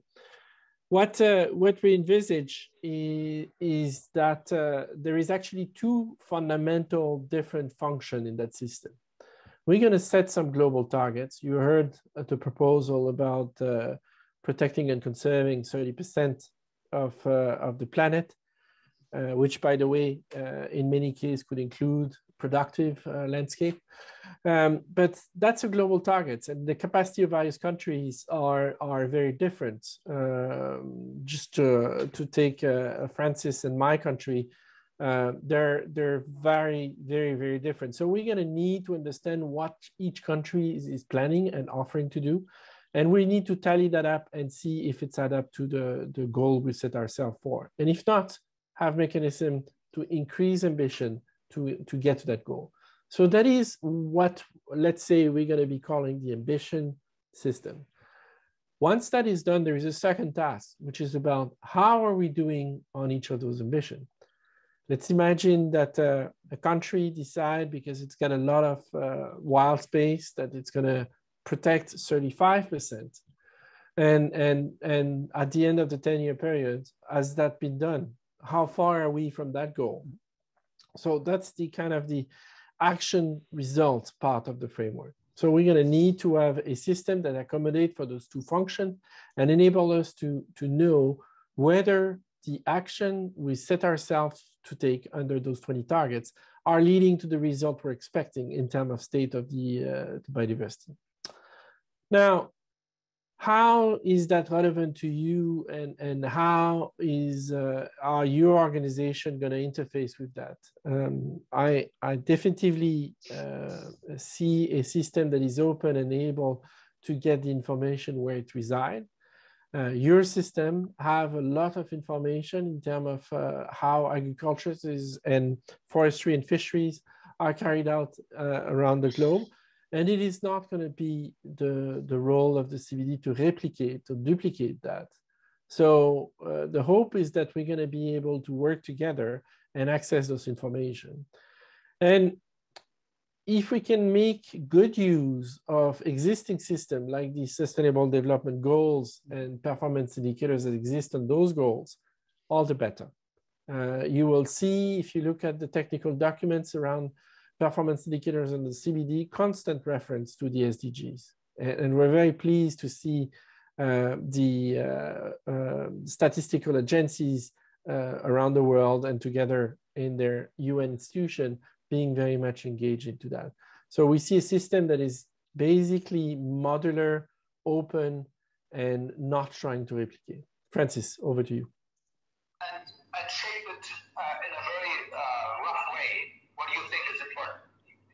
So, sorry. Hello. Yeah, let me just add a few points to what um, uh, Co-Chair said. I think he has pointed to most of it. Um, something also that is going to come in and you will see it, um, we are going to keep talking about it, is the idea of responsibility and transparency by all, you know, people that uh, all countries or parties or stakeholders when it comes to implementing this framework, that we should have that in mind. But for people then to be able to take on the responsibility and report as required, then the mechanisms, as uh, co-chair said, uh, to guide that is going to come up when the SBI finalizes this meeting, the third meeting. But something that I wanted also to add here is that um, the framework itself has got, of course, a monitoring framework. And that monitoring framework has got, uh, will have headline indicators that uh, we, all parties to the convention will be required to report on and also other countries, I would say. So those headline indicators are like the ones that definitely we have to use to report progress. So that is one way of helping, um, you know, uh, parties or stakeholders out there to ensure that this aspect of reporting, monitoring and reporting, we are able to follow it to the letter. And there will also be other uh, indicators, the one that is with the components of, of, of each of those targets. So that those are some of the ways in which we think FAO could be could make use of it if you look at those headline indicators, see how those targets relate to your work, and then therefore to assist you to, to contribute to reporting progress as far as the targets are concerned, because there could be some of these targets that uh, you could use in um, reporting on what you're doing that we could capture in the system as far as the framework implementation is concerned. So that is, those are some of the ideas that is there about uh, planning and monitoring reporting, but you'll be seeing them as we move along. Thank you. Yeah, thank, thank you very much to stressing also the link to the sustainable development goals. And as you all know, FAO is a custodian for many of the biodiversity related uh, SDGs indicators. So we are, uh, of course, happy to cont continue to, to do that uh, role. We have a question from Luca Chinotti from WWF, who would like to know whether you can give some more detail on the focus and also the framing of targets eight and nine. And a little bit related to this uh, is maybe a, a additional information on how the entire food and agriculture stakeholders can be engaged in the implementation in, of the framework, not only FAO as an organization. Thank you. Um, let me let me start by talking, uh, kind of reversing the other. Um, I, we see that uh, we will be successful if we engage all aspect and all corner of society. That includes civil society, and, and they have an important role to play. Um, my vision of a successful COP and a successful um, framework negotiation is one where I would get everyone on the podium clapping with uh, Francis and I which is which is a very different picture of uh, the formal protocolar way of doing things. We we're gonna need to have as a symbol not only negotiators but but also uh, business, civil society, our our scientists. Like we need everybody proud and engaged into that framework, and that's that's the way we're gonna be successful. Practically, how we make that happen the day after the the party is, is going to be very different from countries to countries. Um, I can see some, some very interesting initiatives started under the, uh, the UN Food Summit. Those vertical dialogues that are taking place in many countries will hopefully lead to a more permanent structure where you can have a good dialogue between the various stakeholders and engagement in a, a consensus way to get to the implementation. That has been something that has proved successful in many parts of the world. Now, turning to target eight and nine uh, and, and how we, we, we see those targets, um, I think you cannot look at target eight and nine without looking at target four at the same time. And, in this, and I know that there are several parties that would like them to be grouped different way. I think Francis and I have tried to rearrange the piece of this jigsaw puzzle in all the possible ways and and what you're going to see Monday on uh, on draft one is our best attempt to have a, a, an arrangement that works. But at the end of the day, the question is, does that matter uh, the way they organize, or what is matter is, do we have the right elements in that uh, in that uh, uh, plate we get in front of us? So so four is about making activities sustainable. Eight is about making sure those activities are meeting people need.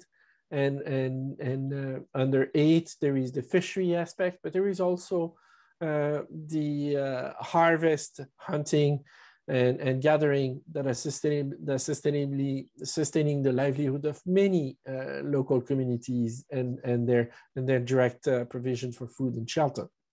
So that's what we see in, in eight and, and that particular focus on the poor. Nine is different. It's focusing at the ecosystem level and, and, and, and not at the large scale landscape, but more kind of the managed ecosystem of uh, agriculture in a certain region or forestry or aquaculture. And, and how we ensure that those activities, while being carried out sustainably, are providing the elements and the meeting people need. So this is part of our attempt to rebalance the objective of the convention. I think uh, several people on the biodiversity side would like to see a convention that is solely focused on conservation. We think this would be a mistake. It has to be a, conven a convention that balances the three objectives. And that's where we touch very much and integrate with the FAO work. And that's where we want to be careful to have the right level of engagement that is not uh, overtaking or not uh, impairing what you're doing. Francis. Uh, thank you, Co-Chair. I think um, just to add something little to what you've said here, is that um, we, of course, got some comments, we got some views, we had a lot during the recently concluded um, SBSTTA 24th and SBI 3, the meetings which took place virtually. So there were thoughts and ideas that also comments that came on these targets and other targets. So at this point in time, I can only tell you that we have looked at these targets again. And um, in the next version of the framework itself, that is the draft one, you might see it, um, some progress there. But we do not take note, of course, that um, target eight and nine, we are mainly looking at how the, the food security, the other aspect, can continue to exist, and also including in the agricultural sector, so that um, we have better nutrition for people. And in that case, you'll find us talking about management of species, because I think that is one area that is so critical in that sector, management of species, fauna and flora. So there is effort to really um, refocus these uh, two targets which you've just pointed. And um, mm-hmm. I think at this point in time, we may not now be at, uh, you call it at, we don't have that um, opportunity, if not the, the, the, the, the, the, the power now to relay to you as is. We know what we've gone through in trying to recraft those two. So I can only say you might see something that is uh, better crafted in the next version, so be looking out for that. And um, in target nine, we are talking about really biodiversity supporting productivity in the agricultural sector, and maybe the other way around. But biodiversity itself has a big role it plays to ensure that productivity in the agricultural sector continues to be not only sustainable, but also resilient over time. So you'll see that. Uh, we, we will handle that, and you'll be seeing them shortly, as I said, on 12th this should be going up uh, for everybody to have a look at. Thank you. Yeah, th thank you very much. I think it's it's good to hear that this link between the management and the use and contribution to people are closely linked, um, even if they are in different boxes in the system, but that the narrative shows very clearly the importance of this because I, I think this is also a question for us to communicate to our constituencies is that some of the practices that you use, they are biodiversity friendly, but when you manage them, you also have productivity increases, you save input costs for producers, and that's the language that speaks to farmers. Um, we have another question from Sunil Archak. How can we encourage private investment in biodiversity conservation and utilization? And how can really the private sector be more engaged? This is, of course, you said already that uh, you have had positive response from the private sector of the food and agriculture. Um, yeah, how can this be strengthened? Um, very, very important point. Um, there is, when we talk to, to business, uh, actually, I think business as a whole and the private sector has learned a lot through the climate change process. Um, and, and perhaps they're ahead of us and they're better organized and they want to move faster. I think there is several elements that are needed to improve and, and, and have better private sector in, investment. One is uh, a level playing field. So uh, I've talked earlier about negative incentive and subsidies. So if you have not a, not even a positive playing field where there is subsidies in favor of uh, biodiversity, but just a level one where you don't have subsidies for unsustainable activities, then that's that's one step. The second step is business needs to be to have predictability in uh, in their operation. That's what they're looking for. They need to know where they are, and they will that will enable them to make investments. So we need to have a framework that is there that is there for long term. So 10 year period is an horizon that many business will, uh, are planning to, and, and that's going to be helping them. If they see the signal that are consistent across from the agriculture sector to the environment, a very clear set of guidance and rule, then they will be inve investing. The third point is understanding their risk and exposure. Mm -hmm. I was talking with uh, the agri-food business and, and, we were talking about sugar beet production in, uh, in France and, and, and how uh, given climate change, how that's going to be changing very rapidly and very dramatically over the coming years. Wheat production in the south of Europe will also be changing. So understanding those risks and understanding how investors are exposing the, those risks will be enabling the money to go where it is sustainable. So organization that will be having business plans that enable them to manage, to mitigate those risks and shift their operation in, in, in our changing environment will be attracting the resource. You can see it on the climate side. You can see how money has been shifting around to durable energy uh, production away from unsustainable energy production. I think we're going to see that shift taking place in a much more rapid way on the biodiversity side once we put the basic element in place. Francis. Yeah, I think the issue of the private sector has actually been uh, one of the uh, aspects discussed in the CBD now for a long time.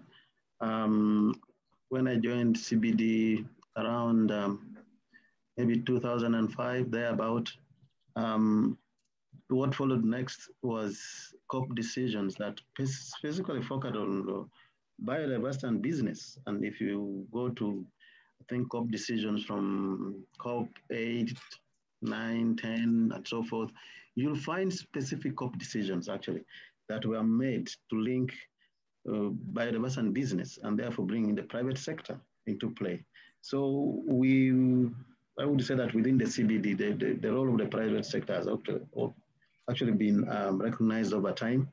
But maybe in the post 2020 now, uh, given the challenges the world is facing today, the business sector actually need to realize more that um, loss of biodiversity risks to business because they might be putting money in agriculture, they might be putting money in uh, tourism, they might be putting money in some of these other sectors. But if biodiversity aspects are not being considered in such investments, then they might find that their investment may not yield what they're actually anticipating it to yield. So the conservation angle now need to be taking more root in the private sector uh, way of doing business, including, of course, like it is happening, them integrating a lot on, on, on climate change.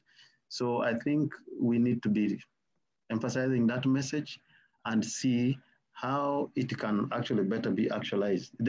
I would say the ideas are there, what we want to do is there, but now we need to put those ideas into action. We've talked with them, we've had meetings with the private sector, business, but I think that has to keep going on. And when we now start implementing the framework, we still need to see how we keep engaging them so that they can also be conscious when they're doing business, when they're providing investment in whichever sector, if they are going to really take biodiversity conservation as one of those pillars they want to see in the business that is being conducted, I think that is one way the private sector will contribute a lot to conservation and therefore the future of biodiversity, the globe as large. So thank you so much. Yeah, th thank you. Um, I mean, we all know that the World Economic Forum risk report and uh, McKinsey and all these big companies they get the reflection from CEOs that particularly the biodiversity loss is a big threat to business. So it's money that speaks, and the agricultural and food and drink sectors are particularly affected. And in that respect, I think you will be happy to hear that in the discussion yesterday, we had a lot of discussion about financing, repurposing subsidies, and so on. And there was even the idea to have a biodiversity financing mechanism that mirrors the one for climate change.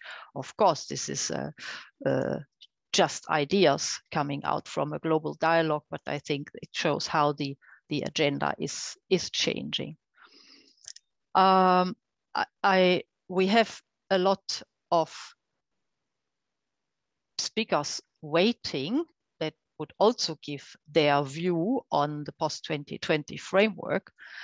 And um, you had mentioned already that FAO has a very important role to play as a policy body, but also as an implementer and as a monitoring agency. And Eduardo had mentioned that the FAO members have been very active and revved up action on biodiversity in collaboration also with the CBD, particularly in the recent years. So they have created an informal group of friends of biodiversity, which is composed of uh, ambassadors. Then you all know that FAO hosts a whole range of bodies and instruments that make reference to biodiversity. We host uh, the International Plant Protection Convention and the International Treaty on Plant Genetic Resources, which are member of the Biodiversity Liaison Group, but also the technical committees, the Commission on Genetic Resources for Food and Agriculture. And today we have with us representatives of some of these bodies, and they want to share their perspective of the importance of the biodiversity for, for the food and agriculture sectors, but also the um, significance of the post-2020 framework. So I would like to first call on Ms. Yasmina El Bahloul. She's chairperson of the governing body of the International Treaty on Plant Genetic Resources for Food and Agriculture to give her view on the framework. You, Ms. Bahloul, you have the floor.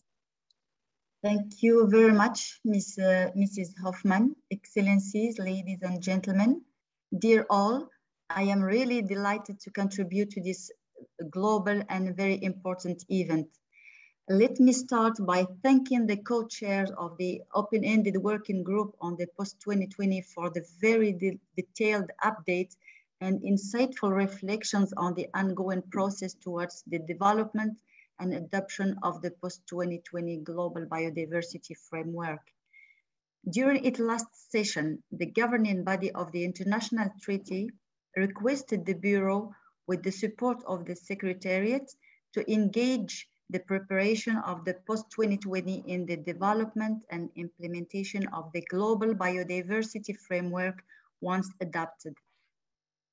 In this context, the governing body also emphasized the importance of enhancing through this process cooperation between the international treaty and the CBD and with other biodiversity related conventions and made the following key recommendations. Targets that link agriculture, biodiversity to food security and sustainable agriculture should be included as part of the framework having followed the process, it seems that we are moving to the right direction to achieve such linkages. Let's ensure that we stay on this path going forward in the process. When it comes to the genetic level of biodiversity, emphasis should not be placed only on access and benefit sharing, but also on conservation and sustainable use as these contribute to achieving the objective of ABS. Targets on access to genetic resources and the fair and equitable sharing of benefits arising from their utilization should expressly consider the international treaty and its multilateral system of access and benefit sharing and their monitoring should rely inter alia on the monitoring system available through the reporting systems of the international treaty.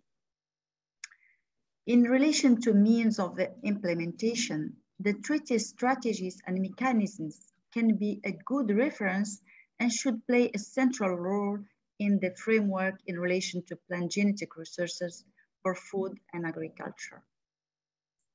Ladies and gentlemen, I am reiterating that the Bureau of the governing body of the International Treaty looks forward to, along with the Secretariat of the International Treaty, to continue engaging and providing inputs in the development and implementation of the framework once it is adopted. I will conclude as a temporary person living on this planet by saying that I'm very glad to participate to this very important event for the planet and for our future. We have to catch the signal of the current hard and uncertain situation and dig deep into ourselves to better understand what we are doing now for biodiversity, what we can do individually and collectively in the time and space. And as reported earlier by our distinguished speakers, it's time to translate policies into concrete actions every day. Thank you very much. Thank you very much, Ms. El Bahloul. Now, the next speaker is from the International Plant Protection Convention. I invite Mr. John Greifer, who is the uh, vice chair of the Bureau. Thank you, and um, good morning, everybody. Let me begin by thanking the organizers of the event for inviting the International Plant Protection Convention to join you today. We do appreciate this opportunity to share our perspectives about the post-2020 biodiversity framework. Now, the IPPC and the Commission is composed of, of uh, national plant protection authorities from 184 countries. We've had an important relationship with the CBD over the past 20 plus years. In particular, we share a core goal of seeking to prevent the spread of harmful pests, which not only endanger agriculture, but also forests, natural habitats, and biodiversity. The IPPC Secretariat has also been a member of the Biodiversity Liaison Group since 2015. Given our overlapping missions, the IPPC community believes that the post-2020 biodiversity framework should take into account the shared mandate of the IPPC and CBD, especially in relation to, the, to managing the invasive alien species threat. That is really our shared focus. Um, over the past 25 years, the IPPC has been in the business of developing international plant health standards and other key guidance materials, which are designed to prevent the spread of potentially harmful pests. These standards are intended to enhance and harmonize the efforts of governments from around the world to survey, detect, and contain the spread of plant pests, especially through trade pathways. We believe that a coordinated international framework has been and remains crucial to ensure coherency and ensure our collective efforts and effectiveness in managing the global spread of pests. Clearly, the IPPC CBD relationship is key for ensuring this coordinated approach. We remain committed to enhancing our collaborative efforts to protect the world's plant resources from invasive plant pests going forward. Now, in March of this year, the IPPC Commission adopted a new 10-year strategic framework. That framework contains several key elements which we believe directly contribute to the goals of protecting global biodiversity.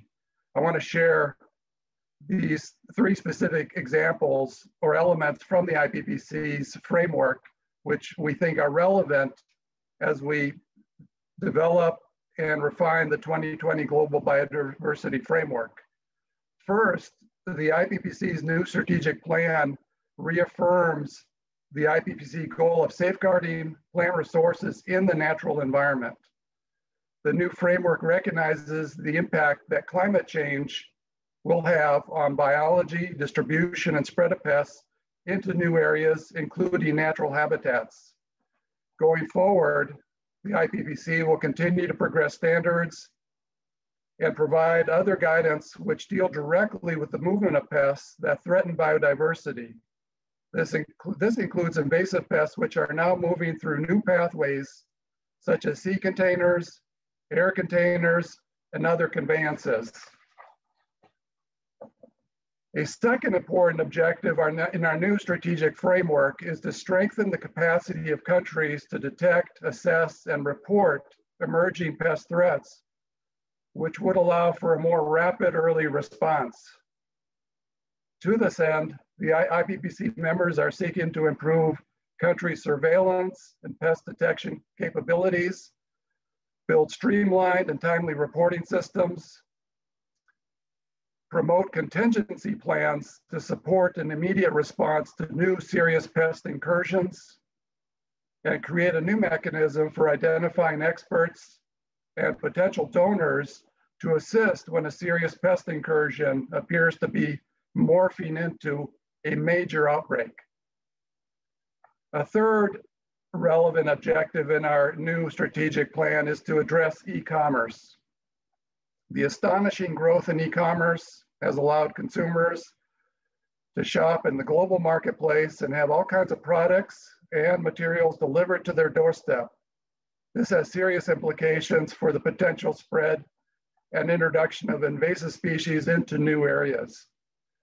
Under our new strategic framework, the IPPC Commission has committed itself to developing the tools and the collaborative strategies for preventing and mitigating the movement of pests and pest host materials through these new digital commercial channels. We want to leave you with three key messages.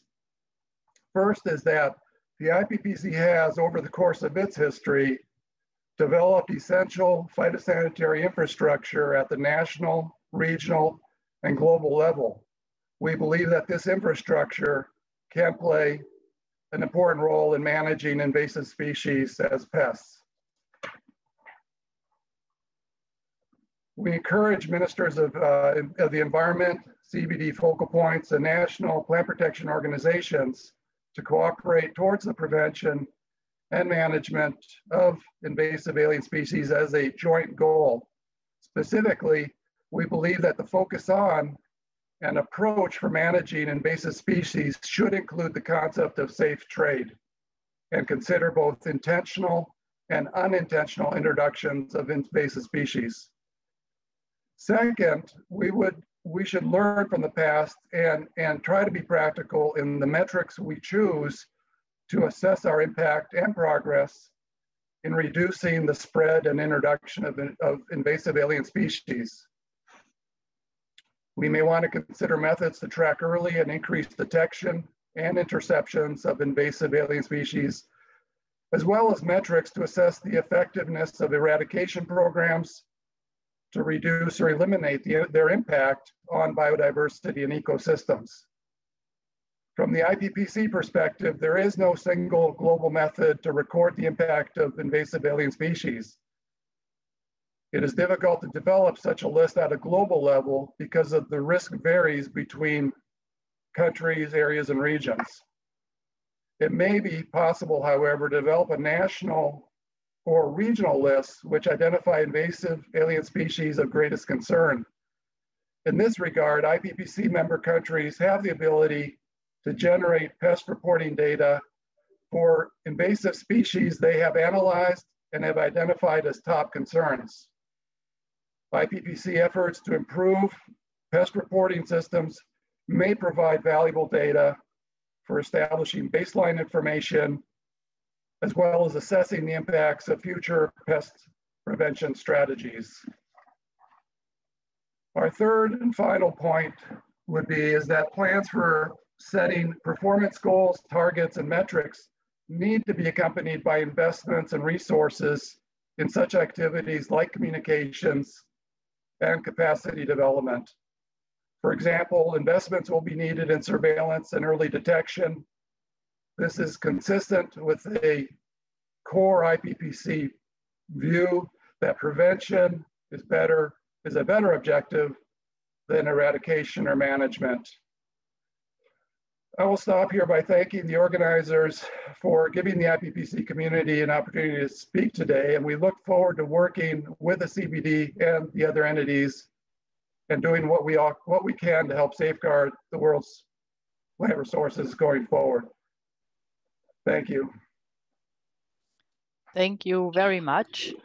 Um, for the interest of the audience, I could also highlight that the role of the IPPC in standard setting on invasive alien species is very strongly reflected in the FAO action plan for the implementation of this biodiversity mainstreaming strategy.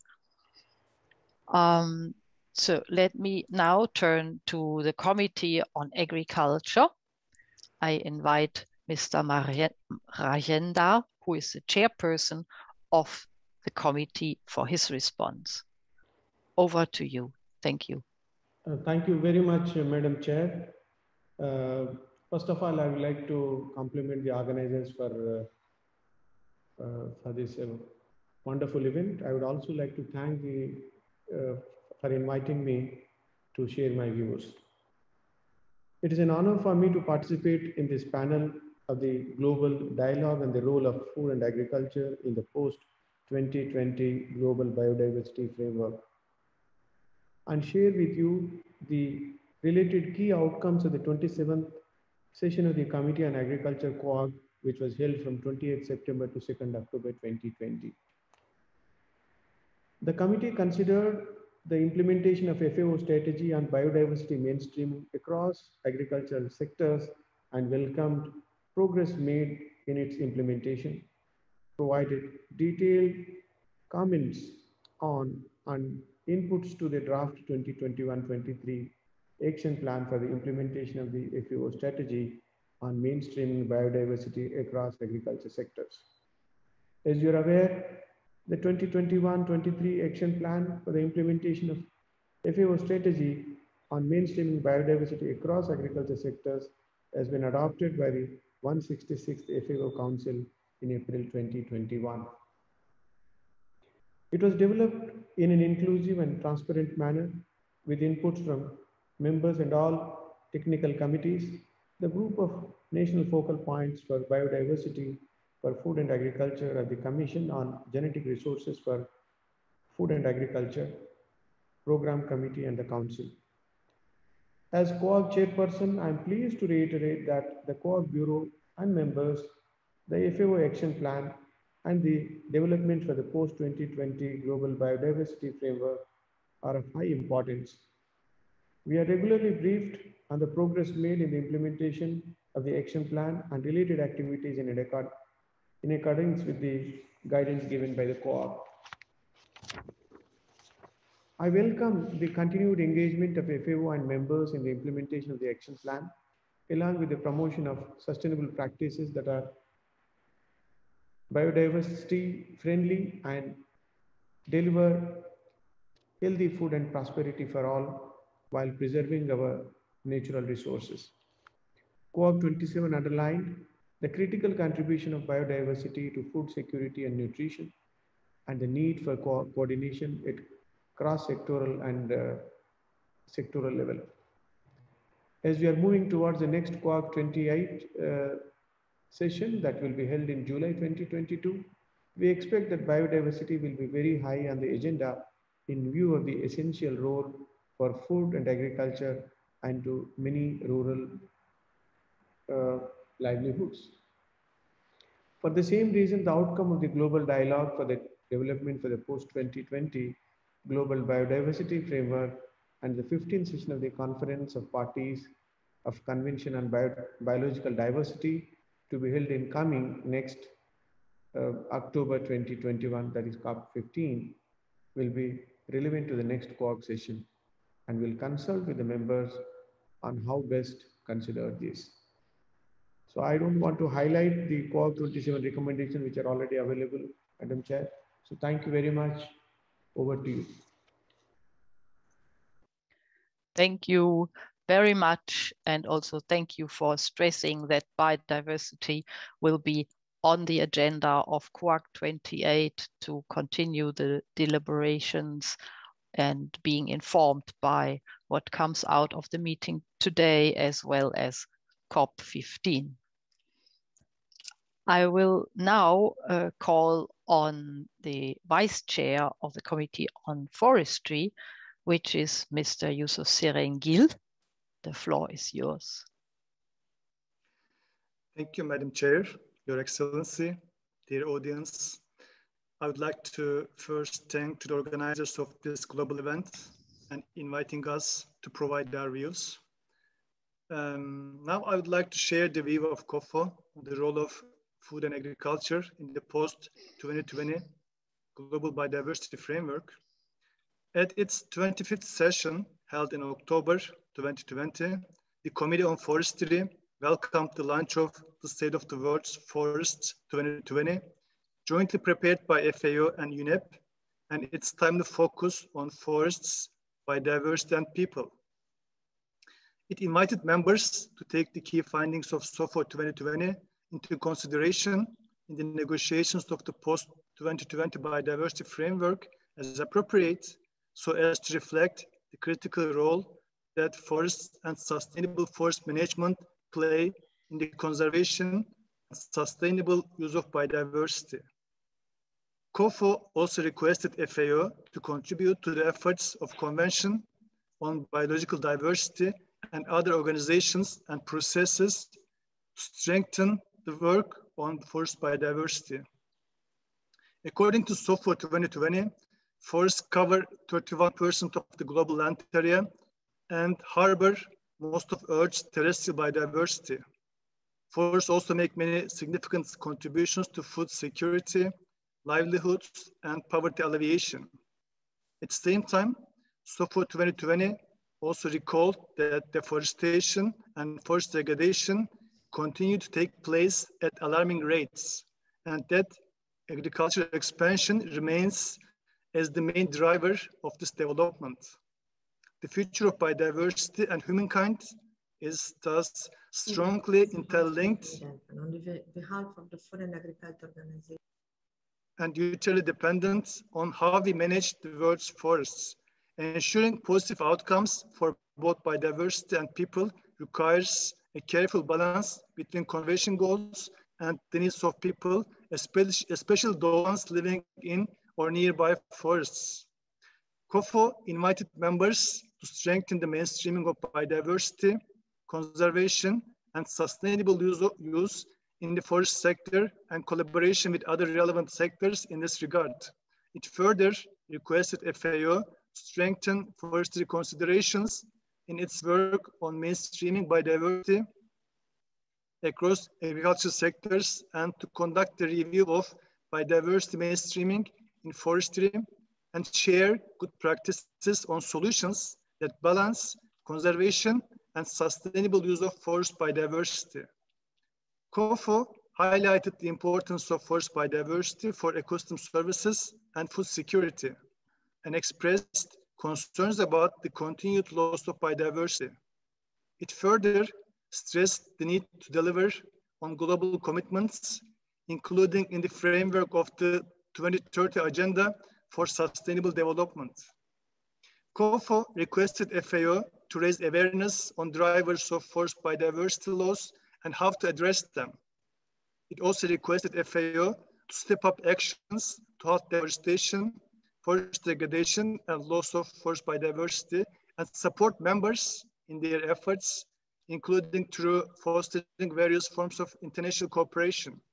Furthermore, COFO requested FAO to continue to demonstrate that solutions that balance conservation and sustainable use of forest biodiversity, such as sustainable forest management, restoration, and, agroforestry, are possible through sharing best practices in line with national capacities, priorities, and contexts, and that agriculture and forestry can synergistically support sustainable development.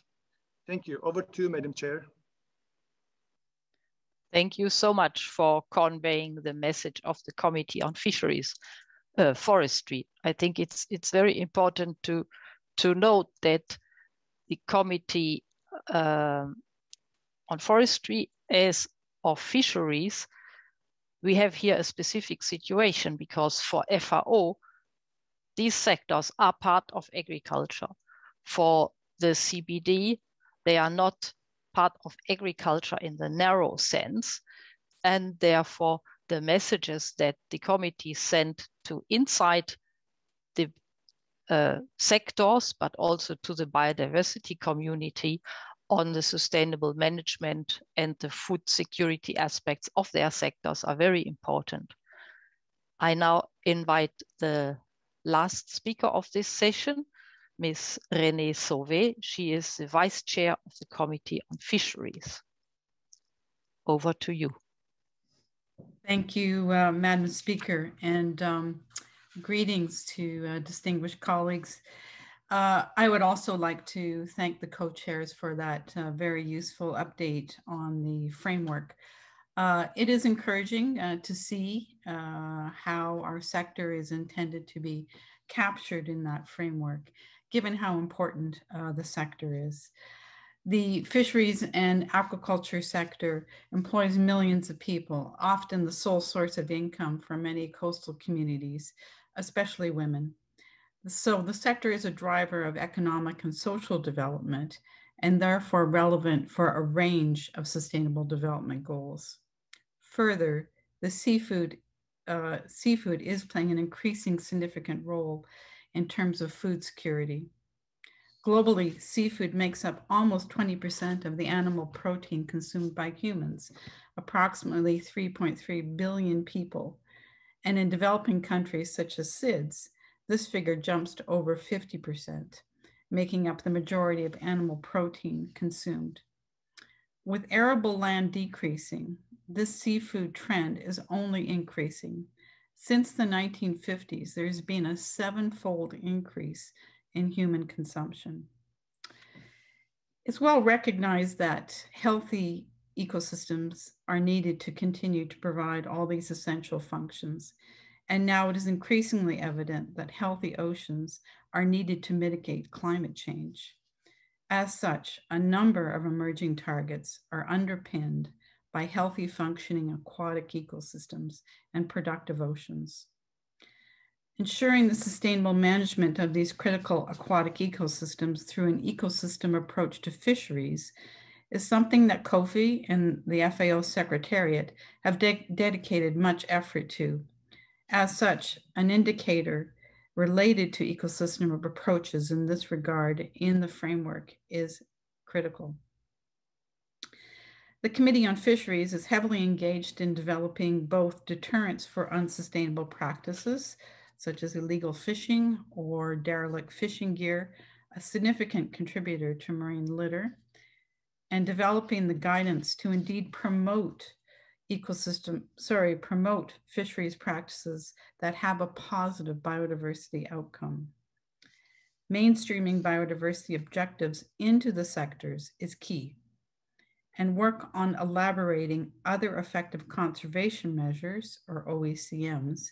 What this means in a fisheries context is an excellent example of mainstreaming. And that terminology is captured in the emerging Target 2 related to 30 by 30.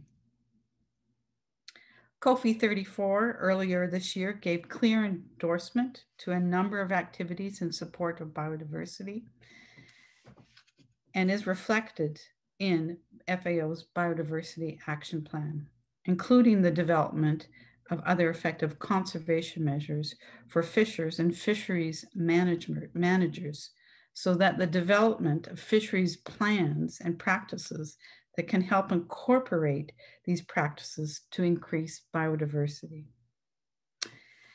At the risk of stating the obvious, the main message here, I think, is that the goals and targets of the Global Biodiversity Framework cannot be achieved without the engagement of the communities that rely on, use, study, manage, and regulate the activities most closely associated with these aquatic ecosystems. It is critical that the Global Biodiversity Framework is developed with those communities, stakeholders, and authorities to ensure that the goals and targets are realistic, effective, and ultimately achievable. Finally, Chair, I might also make the point that the CBD going forward, especially in the context of implementing the global biodiversity strategy, needs to make a dedicated space and time for ocean issues.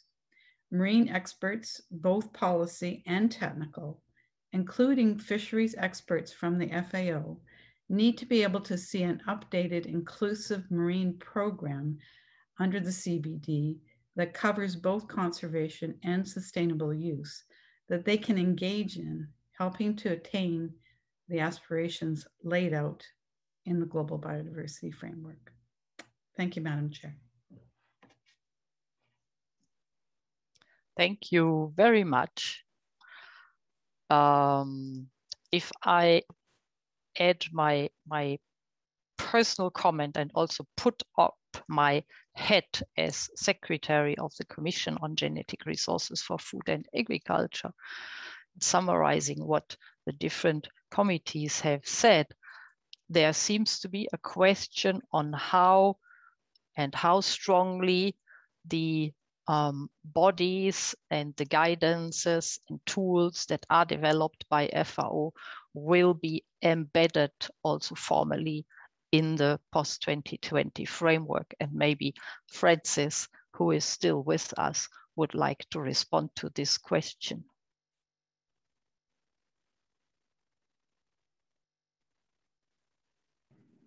Hello? Yes. You come again with a question? Yeah. Question again, please. Ah, the question again. Yeah. Um, we have heard from the speakers of the IPPC now, uh, COFI, uh, treaty, and uh, without it being said, uh, from the Commission on Genetic Resources for Food and Agriculture side, uh, a question on how the, the tools and mechanisms that are being developed by FAO are reflected in the framework and whether there will be a sort of an official reflection of those in the framework in the sense that uh, you had mentioned the role in, in uh, monitoring, but will there be another, also the policy role reflected in the framework? Yeah, I, I hope I get your question well. Um, of course, I think there are these questions being continuously brought to our attention, how uh, we are reflecting um, maybe the, the various uh, aspects of the different stakeholders that we are dealing with in the framework. Because biodiversity being as cross-cutting as it is, so you find that um, it cuts on so many aspects that um, uh, the need for people to see that they are appearing or are reflecting the framework keeps coming up. But I think one thing that we could do here uh, in the framework itself, and I hope this will be coming out more clearly, I think we have first of all linked also the framework itself, the monitoring framework. You will find that we have identified the targets, sorry, the indicators for the SDGs in the framework itself. And then in that, we also then put, we relate it to those indicators of the SDGs and which ones therefore link to which target and therefore our own indicators. So that kind of um, scenario, we believe, because all these agencies, all the stakeholders out there, most of them report on SDGs. So perhaps the way you are going to be reporting on your um, SDGs within your agency there, when you look at the way we have tried to align those indicators of the SDGs to the one of the framework. And therefore, it could be that it reflects on your sector. I think it will give you a chance to use the tool that um, you are developing. So if, if we don't make um, very specific reference, then I think you could be looking at some of those entry points. But we shall continue to look at the monitoring framework and see how it will be addressing some of these concerns, I must say. So it is, broadly speaking, coming up from different stakeholders. They want to see themselves perhaps uh, much more um, visibly there in terms of reporting and the indicators, the framework, as it provides that. But I hope that can give us uh, some way out on making sure that uh, the issues raised by FAO and others could be anchored in the framework because we want really people to, to use their tools in reporting because all these other agencies have their own reporting mechanism for sure. So then it is how we try to link the, the, the, the, the targets that we have and our indicators to some of those reporting frameworks that they have that then could help to link them. I think that is how I could say it if I've got it correct. Yeah, th thank you. Um, my point was a bit, it's not only on monitoring, but also on the entire implementation. And the, the goal is to share this burden of implementation equally across. And uh, we will see how this will be reflected. Yeah, um, I think also you will see other sections of the framework um, the, the, the, the updated zero draft actually had a section that was talking about synergies and so forth. So you're going to see a bit of mention of that because we, we, we also believe that in addition to just having the targets, there should be other, you know, collaboration with some of these MEAs uh, or any other agencies out there. So you'll see synergies being mentioned in there, both with the uh, other convention related, but also with stakeholders out there in whatever they are doing that relates to biodiversity. Cannot be a one-off uh, thing to be done only by the CBD because there are these cross-cutting uh, aspects that needs to be taken on board. So there are other means of implementation that is also having consideration on some of the things you're raising, enabling conditions. So there are those aspects that will come out. And I think maybe could help with that. There are this, the, the aspect dealing with the technical, scientific, and um, technological transfer. So all those could be the other avenues that brings on board um, other patterns to see how they can participate in this. Mm-hmm. Yeah, thank you very much. Um, we have a question that is directed to all panelists.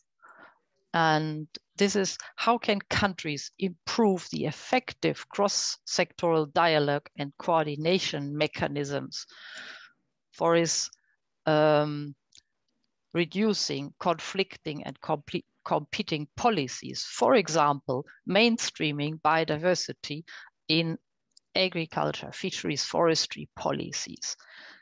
It, does one of the panelists would like to answer to this question?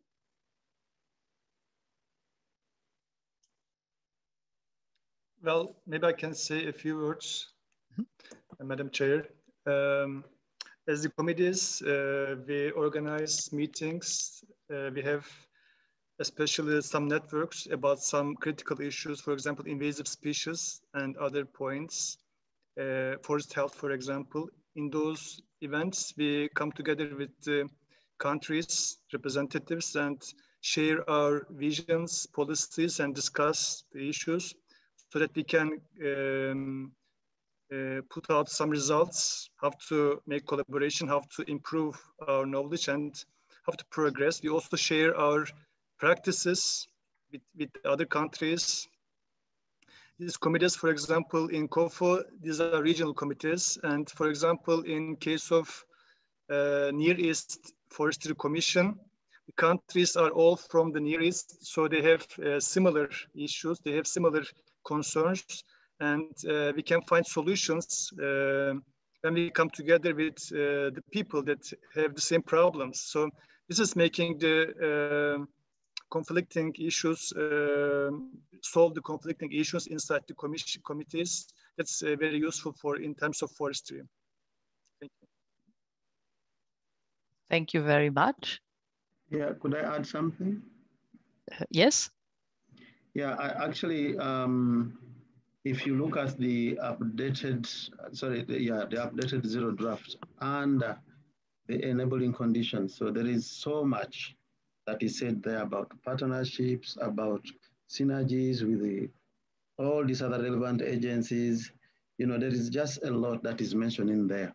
So I believe that becomes the point of, you know, the, the other global community coming into together to implement this work because partnership is going to be very important as we do this because different people have certain activities which they are doing, but which collectively could contribute to this. So if you look at the section G of the updated the zero draft, you'll find a lot stated in there.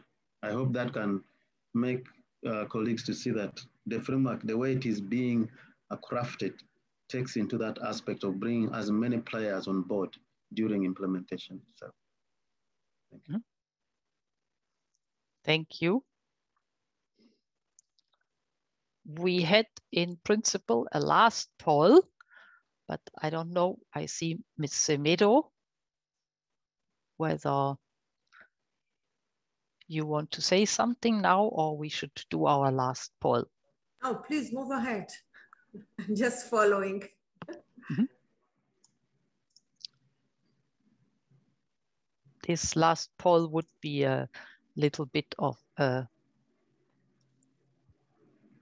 check. So I will read it. Um, do you agree with the statement that in your country, the regulatory framework encourages the conservation and sustainable use of biodiversity across the agricultural sectors? And there are uh, answers from I don't know to fully agree. And then um, where did you see the biggest uh, progress related to food and agriculture production in your country? And the last one, what are the priority benefits of restoration practices for agricultural productivity?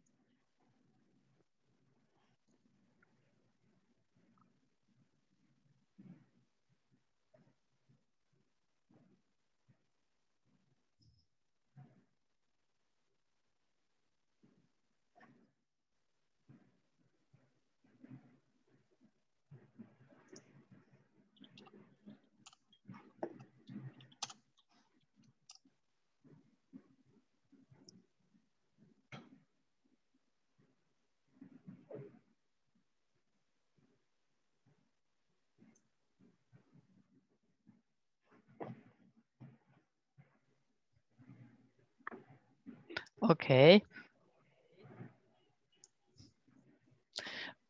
Maybe we can close the poll as the answers are hovering.